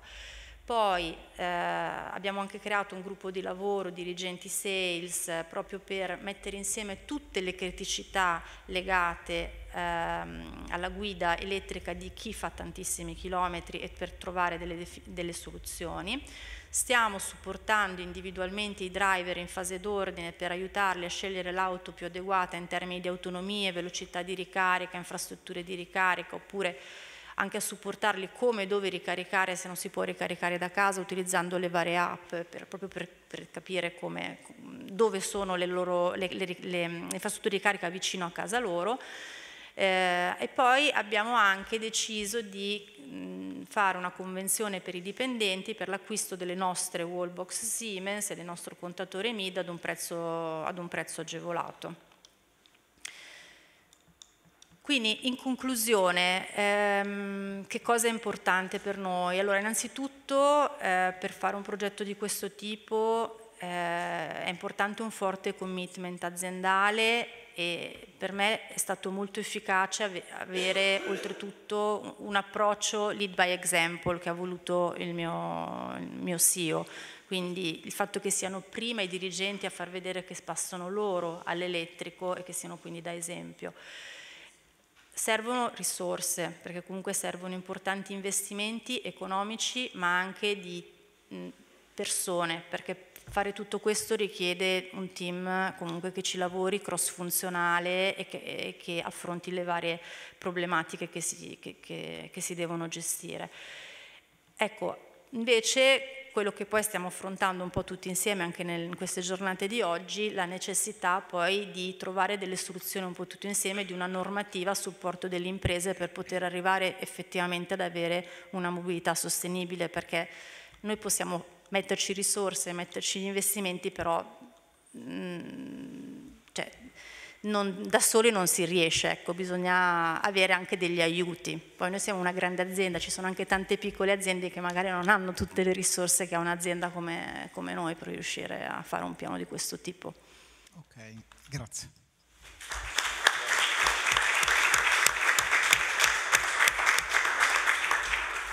Lascio quindi all'ultimo relatore Marco Meriamele di Eshore e a lui chiedo in maniera particolare quali sono le soluzioni che voi eh, avete nel vostro portfolio per consentire alle amministrazioni di sviluppare poi la mobilità elettrica. In silenzio, senza, senza presentazione? Non so. Non ce l'abbiamo. Buonasera intanto. Io sono Marco Mele, rappresento una startup innovativa che si chiama Inshore Mobility. Tanto grazie a Valentino, a Camillo Piazza per l'invito che, che ci è stato esteso quest'anno. Siamo la nostra prima edizione, siamo una società non grande come A2A, come Siemens, come poste, ma cercheremo di lavorare con ognuno di voi. Ehm, Ishore nasce da una considerazione, non intanto io vengo da un mondo automotive, eh, ho fatto tanti anni anche nel gruppo ex FCA, mi sono occupato di, di sviluppo prodotto, relazioni industriali. Per noi, per me, la mobilità elettrica è sempre, e vengo da una famiglia di eh, sviluppatori di aree di servizio, mm, parliamo di Agi Petroli, quindi abbiamo il DNA del rifornimento dell'auto, dell'autotrazione un po' nel sangue. La considerazione che abbiamo fatto per questa società, che è nata, ora vi faccio vedere in pillole perché siamo stanchi e sono l'ultimo come al solito, cercherò di non essere pesante, ma eh, è un po' un, un wrap up di tutte le considerazioni che sono state fatte oggi. Il Shore è una piattaforma, non è una società e nasce dalla considerazione di dire ogni, noi siamo partiti al contrario, veniamo dall'automotive e conosciamo molto bene sia lo sviluppo prodotto dei veicoli commerciali che, che passeggeri fino ad arrivare a, diciamo, a, a, allo sforamento della soglia delle 7 tonnellate fino alle 12 tonnellate, gli autobus eccetera. Um, Ishore oggi è un CPO, è un MSP, come ce ne sono ormai, non so, in Italia credo 11, non siamo grandi come A2A, eh, non siamo grandi come, come NLX, eh, ma eh, in pochissimo tempo abbiamo raggiunto dei risultati abbastanza importanti. Eh, il mantra è che esiste una missione di guida e una prova esperienza di ricarica per ogni segmento. Qua state parlando di città, si è parlato di eh, aziende e esigenze specifiche di soggetti. Il, il, il, mantra per noi è ogni veicolo ha una missione di, di, guida o una missione di utilizzo e quindi una missione di ricarica. E quindi c'è una complessità dietro che va non tanto dal, diciamo, dal, solo dal segmento automobilistico, ma dalla tipologia di utente che poi ha quel segmento automobilistico. Dentro una singola azienda ci possono essere 40 tipi di tipologie diverse e quindi 40 tipi di infrastrutture diverse per ricaricare. Ecco, eShore è un, un CPO, un MSP, quindi Charging Point Operator, la nostra missione è quella di diffondere la mobilità elettrica attraverso investimenti diretti. Quindi eh, siamo sostanzialmente investitori diretti come tante altre società, quindi eh, il nostro core business è l'infrastruttura a servizio con un investimento eh, al 2030 che prevederà, al 2025 che prevederà circa 3.000 IDR, infrastrutture di ricarica eh, a terra tra pubbliche e private. Il nostro obiettivo è quello di avere circa un 30% sul privato e un 70% sul pubblico. Perché? Perché ovviamente gli investitori, come è stato detto nel panel di prima, devono essere attenti anche alla quota di energia erogata e quindi alla produttività, alla redditività di, quella, di quell'infrastruttura di ricarica e quindi il posizionamento o le difficoltà del posizionamento in ambiti urbani fanno sì che uno poi alla fine non investa o investe in potenze più basse per, per risparmiare. Seguiamo un po' il trend del mercato, non andiamo sul residenziale per motivi già condivisi, parlare con un condominio è più difficile che andare a piedi secondo me a, in Finlandia, eh, quindi abbiamo completamente shiftato eh, diciamo, il focus su eh, infrastrutture pubbliche e quindi bandi, manifestazioni di interesse, manifestazioni di interesse spontanee, abbiamo, siamo dotati di una, siamo una decina di persone oggi, quindi in, in pochissimo tempo siamo, abbiamo raddoppiato il personale, abbiamo uno studio tecnico interno, abbiamo creato un'ingegneria interna come pure una divisione che si occupa solo di bandi e gare. Per intendersi questo mestiere porta via due risorse a tempo pieno solo per interfacciarsi in fase applicativa con le amministrazioni pubbliche, ma in fase esecutiva è un, scusate la parola, un delirio. Um, non sto qua per lamentarmi. Um, le attività principali di questa società sono, come dicevo prima, infrastruttura a servizio, quindi un investitore netto di infrastrutture di ricarica pubbliche o private ad uso pubblico, ma siamo anche un EPC, laddove i soggetti vogliono, volessero investire, un'azienda di turno che volesse investire, ovviamente non Siemens che ha già le tecnologie in casa, eh, ci posizioniamo come EPC, quindi Engineering, Procurement and Construction, provvedendo a creare la rete per terzi. Varie aziende che si sono rivolte a noi sono società ad esempio di gestione di parcheggi che non, hanno, non fanno quel mestiere, non hanno quella, quella peculiarità. La terza gamba chiamiamola così, è un po' una cosa che ci distingue dagli altri. Non siamo, come dicevo prima, veniamo dall'automotive, abbiamo fatto il giro al contrario. Eh, noi abbiamo sviluppato eh, soluzioni nel senso di partnership direttamente con i costruttori. Ovviamente non me ne vogliano i miei ex colleghi di CNH, eh, non sono passato al nemico, ma sicuramente uscendo dal gruppo abbiamo intercettato una valanga di marchi nuovi eh, che riescono, che l'unico limite che hanno da soli non riescono, ogni azienda non riesce a coprire ogni segmento come possiamo fare noi in Europa e quindi sono talmente frammentati e talmente tanti però che in tanti riescono a coprire praticamente ogni segmento della filiera. Eh, per darvi un esempio, quindi Shore è nata dopo il, eh, è nata come società costituita da, da, SDC Automotive, che è una società di advisory, eh, appunto che assiste case automobilistiche nell'ingresso nel mercato europeo o italiano come sviluppo prodotto omologativo o semplicemente come riferimento retail. Siamo il punto di contatto di molte case automobilistiche e alcune di queste ci hanno assegnato il mandato di importazione diretta sul mercato italiano, che non è distributivo. Come è importante per noi dire questa cosa perché eh, appunto ci contraddistingue, si è parlato prima di unione dei mondi energy e automotive.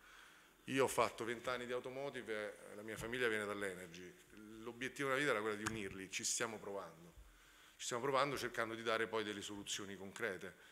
La rappresentanza, il lavorare con queste case automobilistiche ci ha fatto riflettere di ma perché non facciamo una società che si occupa e si preoccupa della diffusione diretta e indiretta di punti di ricarica, non solo pubblici e privati, ma anche come soluzioni ai clienti di questi signori, che sono le municipalizzate, che sono le flotte, che è l'utente finale, i concessionari, eccetera. La società era una start-up innovativa, è stata capitalizzata a dicembre dell'anno scorso da un fondo di investimenti strutturali, si chiama LMB Capital, qui di Milano, che fa questo di mestiere, investe principalmente in società ad alto potenziale eh, di sviluppo nel settore del, eh, dell'energy management, dell'energetico, del fotovoltaico e della mobilità elettrica.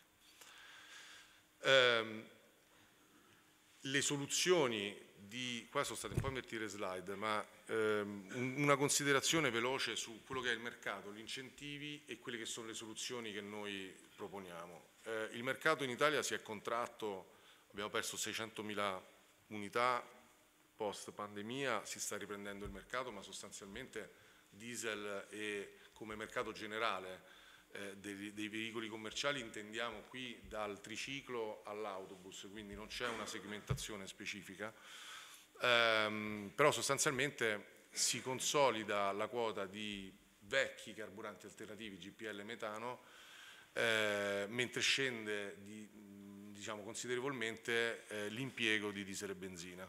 Gli ibridi non ne parliamo neanche, mi dispiace che avete fatto anche la prova, qualcuno avrebbe dovuto dire di non usare i plug-in hybrid anche se eh, insomma, li serviamo come punti di ricarica.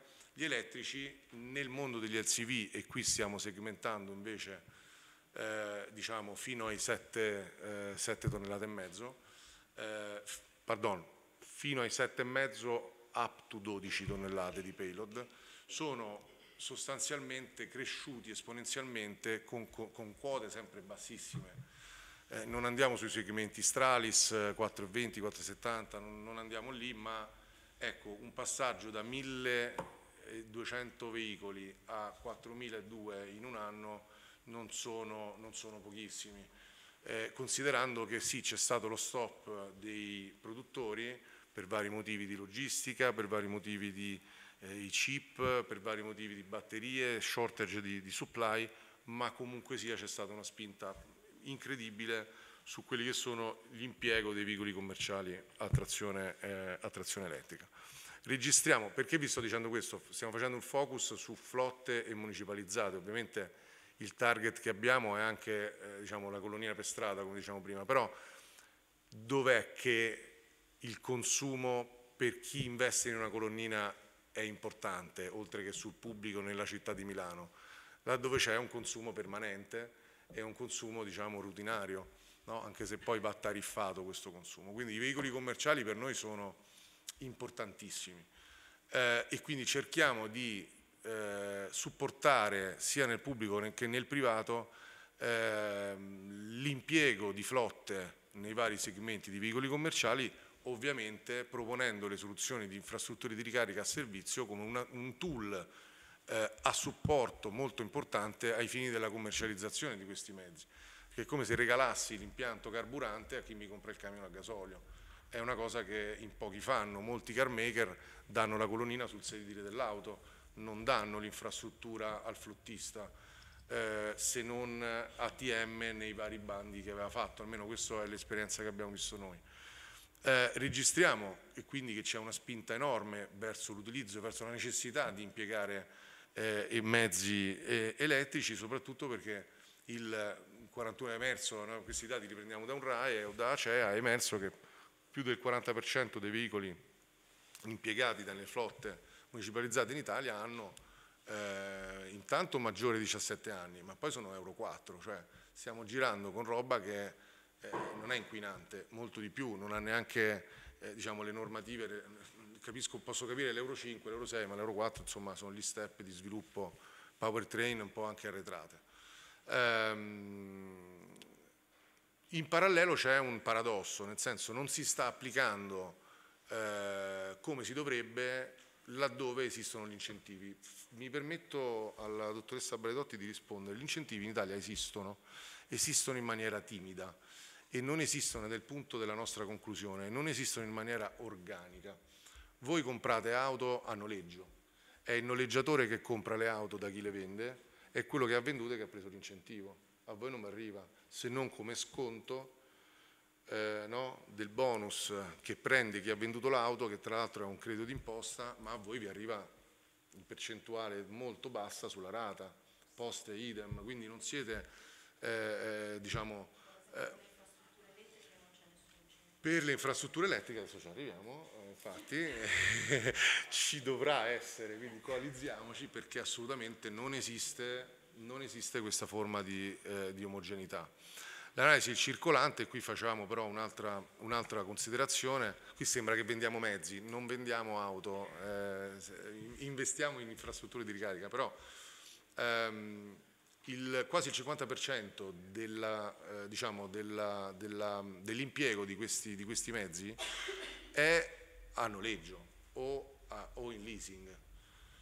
Questo fa riflettere su, su due cose. Il primo è che il, il possesso di un'auto, cioè c'è la missione dell'auto elettrica ma c'è anche il possesso di un mezzo, ehm, sono cambiati, sono cambiati, sta cambiando la normativa, la, la regolamentazione anche della distribuzione di auto sul, sul, mercato sta cambiando da mandati distributivi ad agenziali, sta, cambia, cioè sta cambiando un po' il mondo del retail e il mondo del retail che, che accompagna aziende o gare pubbliche o società campioni nazionali si sta muovendo di conseguenza.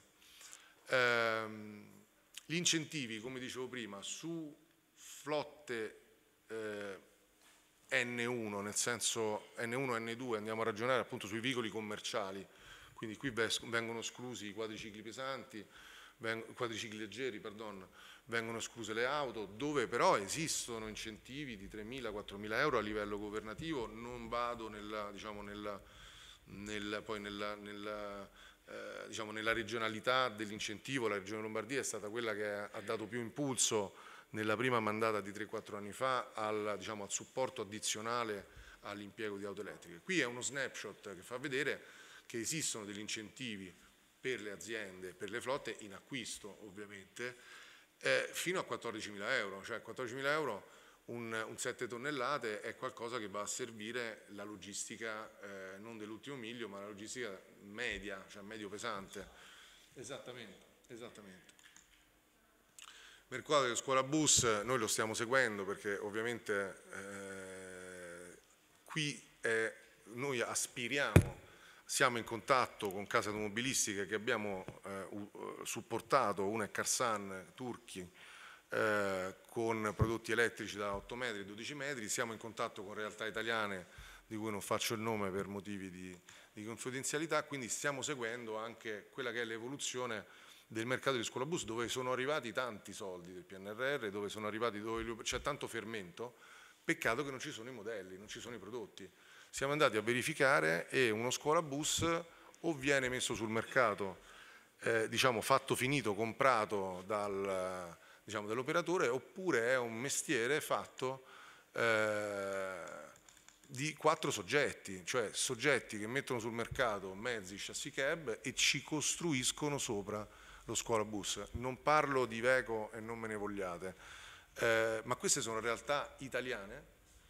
Noi stiamo interfacciando con tre operatori sul mercato, uno è Campello Motors, che voi conoscete perché sta mettendo sul mercato la Yo-Yo, la XP, se ne è parlato prima come eh, macchinina di punta nel car sharing eh, urbano, eh, noi siamo stati supporter eh, con la realtà cinese perché veniamo da quel mondo lì, siamo stati fautori di Photon, ehm, Photon è un marchio che è entrato in Italia un anno fa tramite un importatore eh, toscano che è il gruppo Pretto.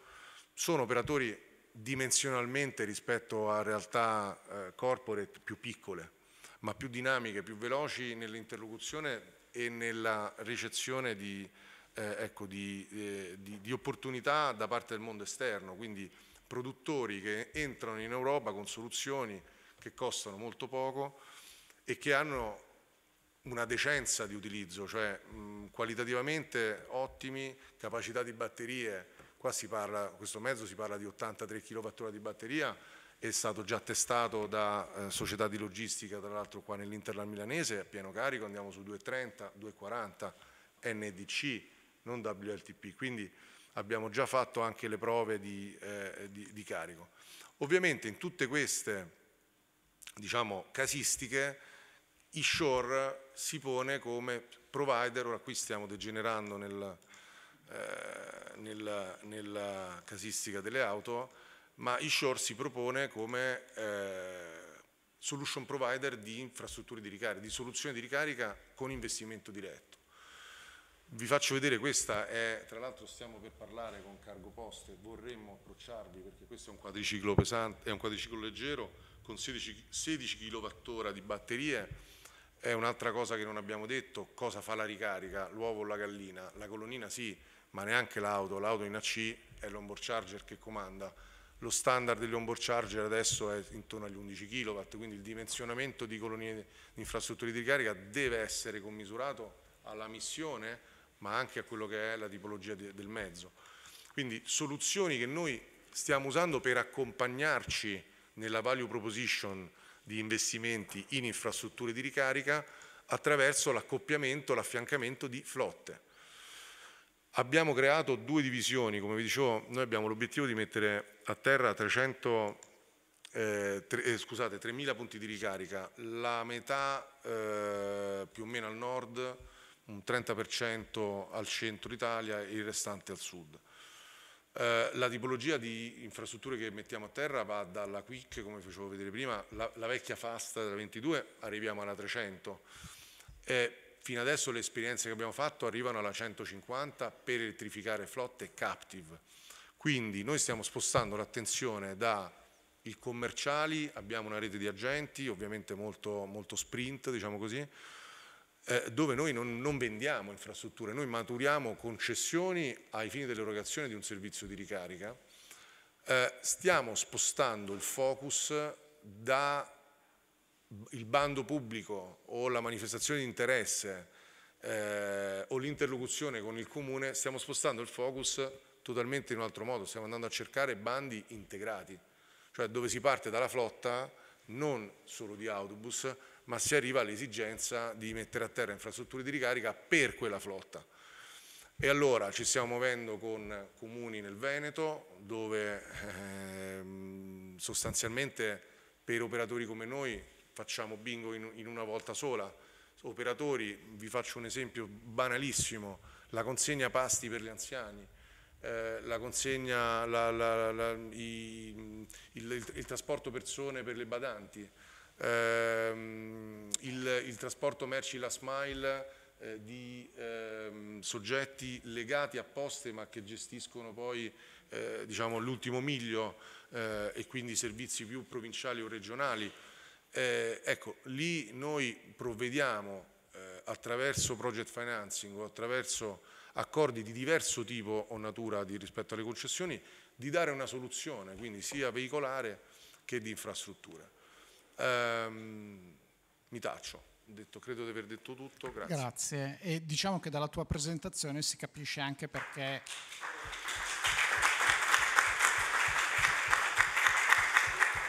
Si capisce anche perché sei stato messo all'ultima e perché di fatto hai riassunto tutto ciò che abbiamo raccontato Spero. nell'ambito dell'intero pomeriggio rispetto proprio a una concentrazione di sviluppo di servizi che, La, se, che vi se, vedono... Se, se posso, se posso certo. aggiungere, perché poi con, eh, diciamo, con, con l'emozione del parlare uno si scorda le cose.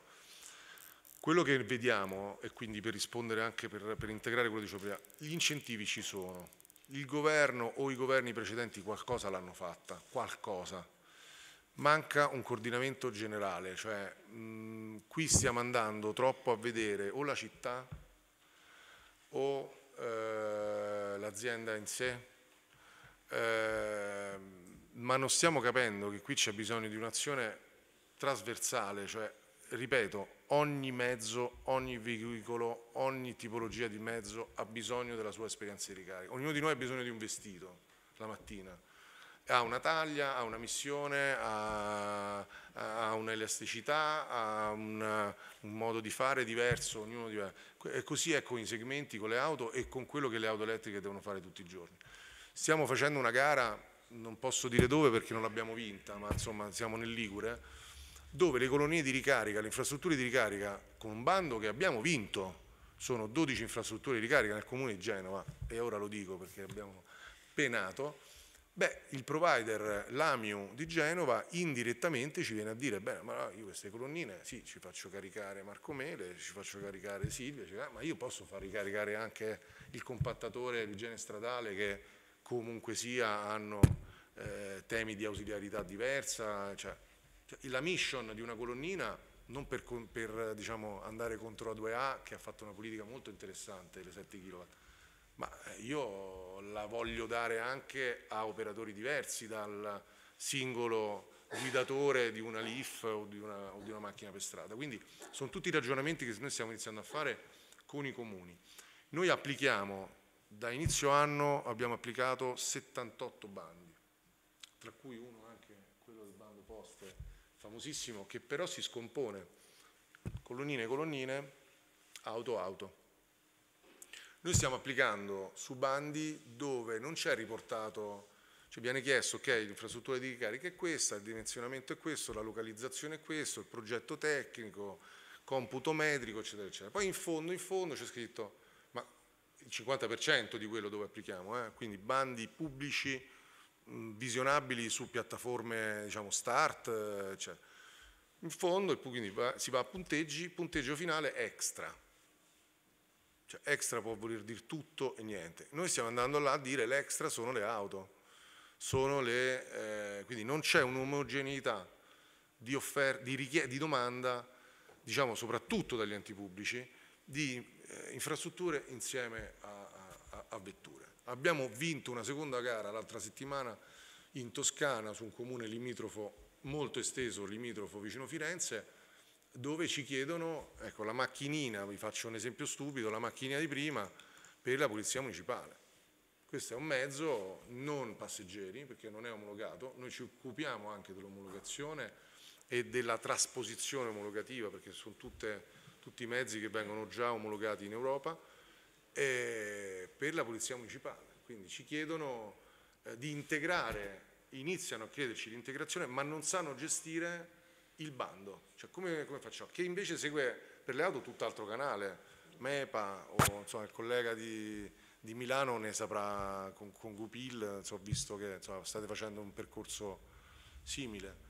Eh, quindi insomma ecco, se posso, non in spirito polemico, però dire quello che penso, qua secondo me bisognerebbe, senza lo spettro del cinese che arriva, perché questo si applica soprattutto alla realtà italiana e alle realtà italiane che ne abbiamo anche tante, ma ecco, complementare incentivi su colonnine e incentivi eh, su auto. L'ultima cosa, incentivi su colonnine ci sono, ma sono incentivati solo alcune tipologie, quindi autostrada, off highways, PNR è quello che sono lì no? e tra l'altro anche assegnati in maniera, andiamo a vedere poi come sono stati assegnati, però ecco, hypercharger, fast charger, qua c'è bisogno... Noi come azienda non riusciamo ad avere... Esattamente.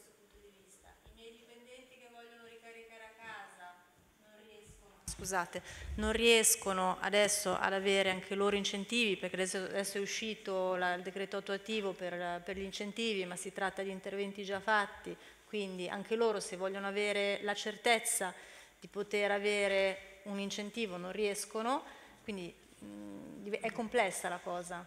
No, poi la, pra, è la prassi autorizzativa dell'incentivo certo. residenziale che non fa la società e esatto. diventa, diventa... Bene, Grazie. allora eh, abbiamo concluso, chiedo un altro applauso a tutti.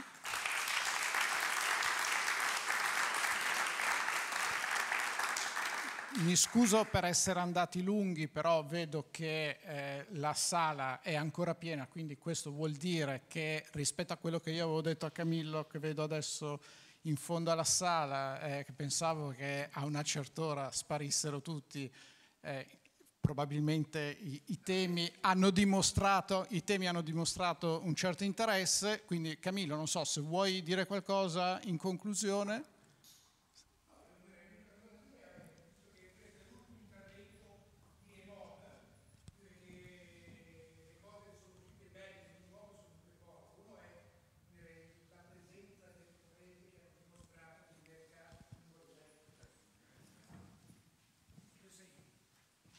La presenza delle imprese che anche qua in questo convegno hanno dimostrato che eh, ci sono, quindi il mercato a prescindere dal fatto che siamo in ritardo per quanto riguarda le questioni collegate al eh, PNIEC, però almeno abbiamo la possibilità di recuperarlo questo tempo perso. EMOB, adesso stiamo concludendo la carta di EMOB, adesso con Valentino, il comitato, comitato scientifico, faremo in questi giorni una riunione per ehm, definirlo in maniera completa e poi manderemo le richieste che sono uscite anche durante i convegni a tutti i parlamentari, a tutti i comuni, a tutti i stockholder, la governance, sperando che qualche nostro punto programmatico venga inserito all'interno delle, delle, finanziarie e soprattutto venga portato avanti perché se no altrimenti rischiamo di perdere occupazione, credibilità come è successo per la Maniti Marelli.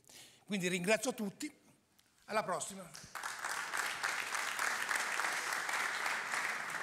Tu sei, tu sei arrivato un attimo dopo alla fase conclusiva in cui eh, i relatori hanno evidenziato una necessità di coordinamento nazionale sul tema degli incentivi, sul tema dello sviluppo e eh, in realtà io ti avrei portato questo messaggio, però visto che sei qua te lo dico direttamente. Infatti la cosa che bisogna fare, casomai come abbiamo fatto anche negli anni passati, è organizzare a novembre una riunione più operativa con il relatore e altre cose per capire se nella modifica che nella declinazione della carta di EMOB ci sono altri punti da inserire e soprattutto avendo noi mi recommenti organizzatori, comune, regione e Camera di Commercio, dove il comune e la regione possono dire qualcosa. Io prima su eh, è venuto l'assessore trasporti e mobilità che a differenza del governo centrale ha dimostrato molto più interesse.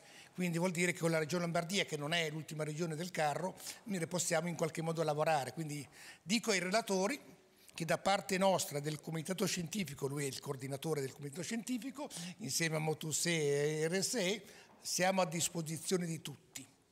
E quindi io farei così, se sei d'accordo Valentino, organizzare un incontro anche con i tuoi relatori, ma anche con gli altri relatori, a novembre, per eh, andare avanti il percorso, perché EMOB non è, non è questo evento, EMOB è l'evento è soltanto una conclusione di un percorso con molti di voi, per esempio con Scame, eh, ormai siamo una vita, andiamo avanti durante l'anno, perché è durante l'anno che si bisogna fare le attività, soprattutto per il fatto che EMOB ha circa 160, ah, non circa, ha 165 comuni sopra i 20.000 abitanti che, ha, che, hanno sottoscritto la carta metropolitana che l'ha fatta lui, cioè Valentino.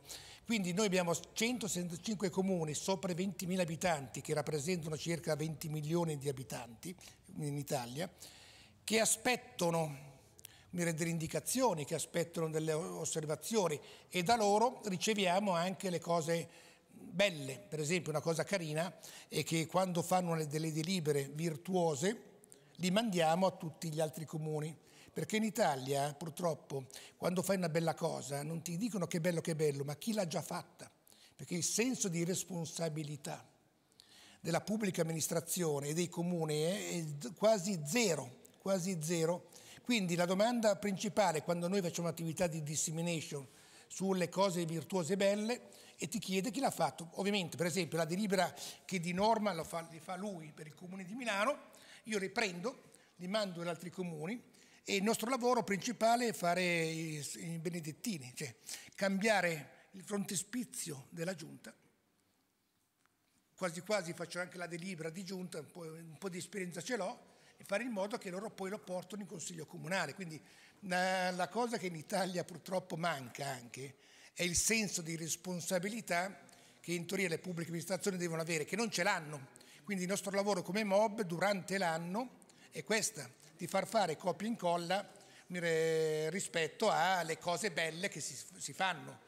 E molti comuni poi le, le fanno, ce le comunicano e noi mettiamo in rete questa roba. Quindi da parte il messaggio che avete dato Valentino, io sono contento che l'avete dato e Valentino organizzerà l'incontro a novembre con tutti i suoi relatori per poter in qualche modo affrontare questi argomenti. Grazie, alla prossima, arrivederci.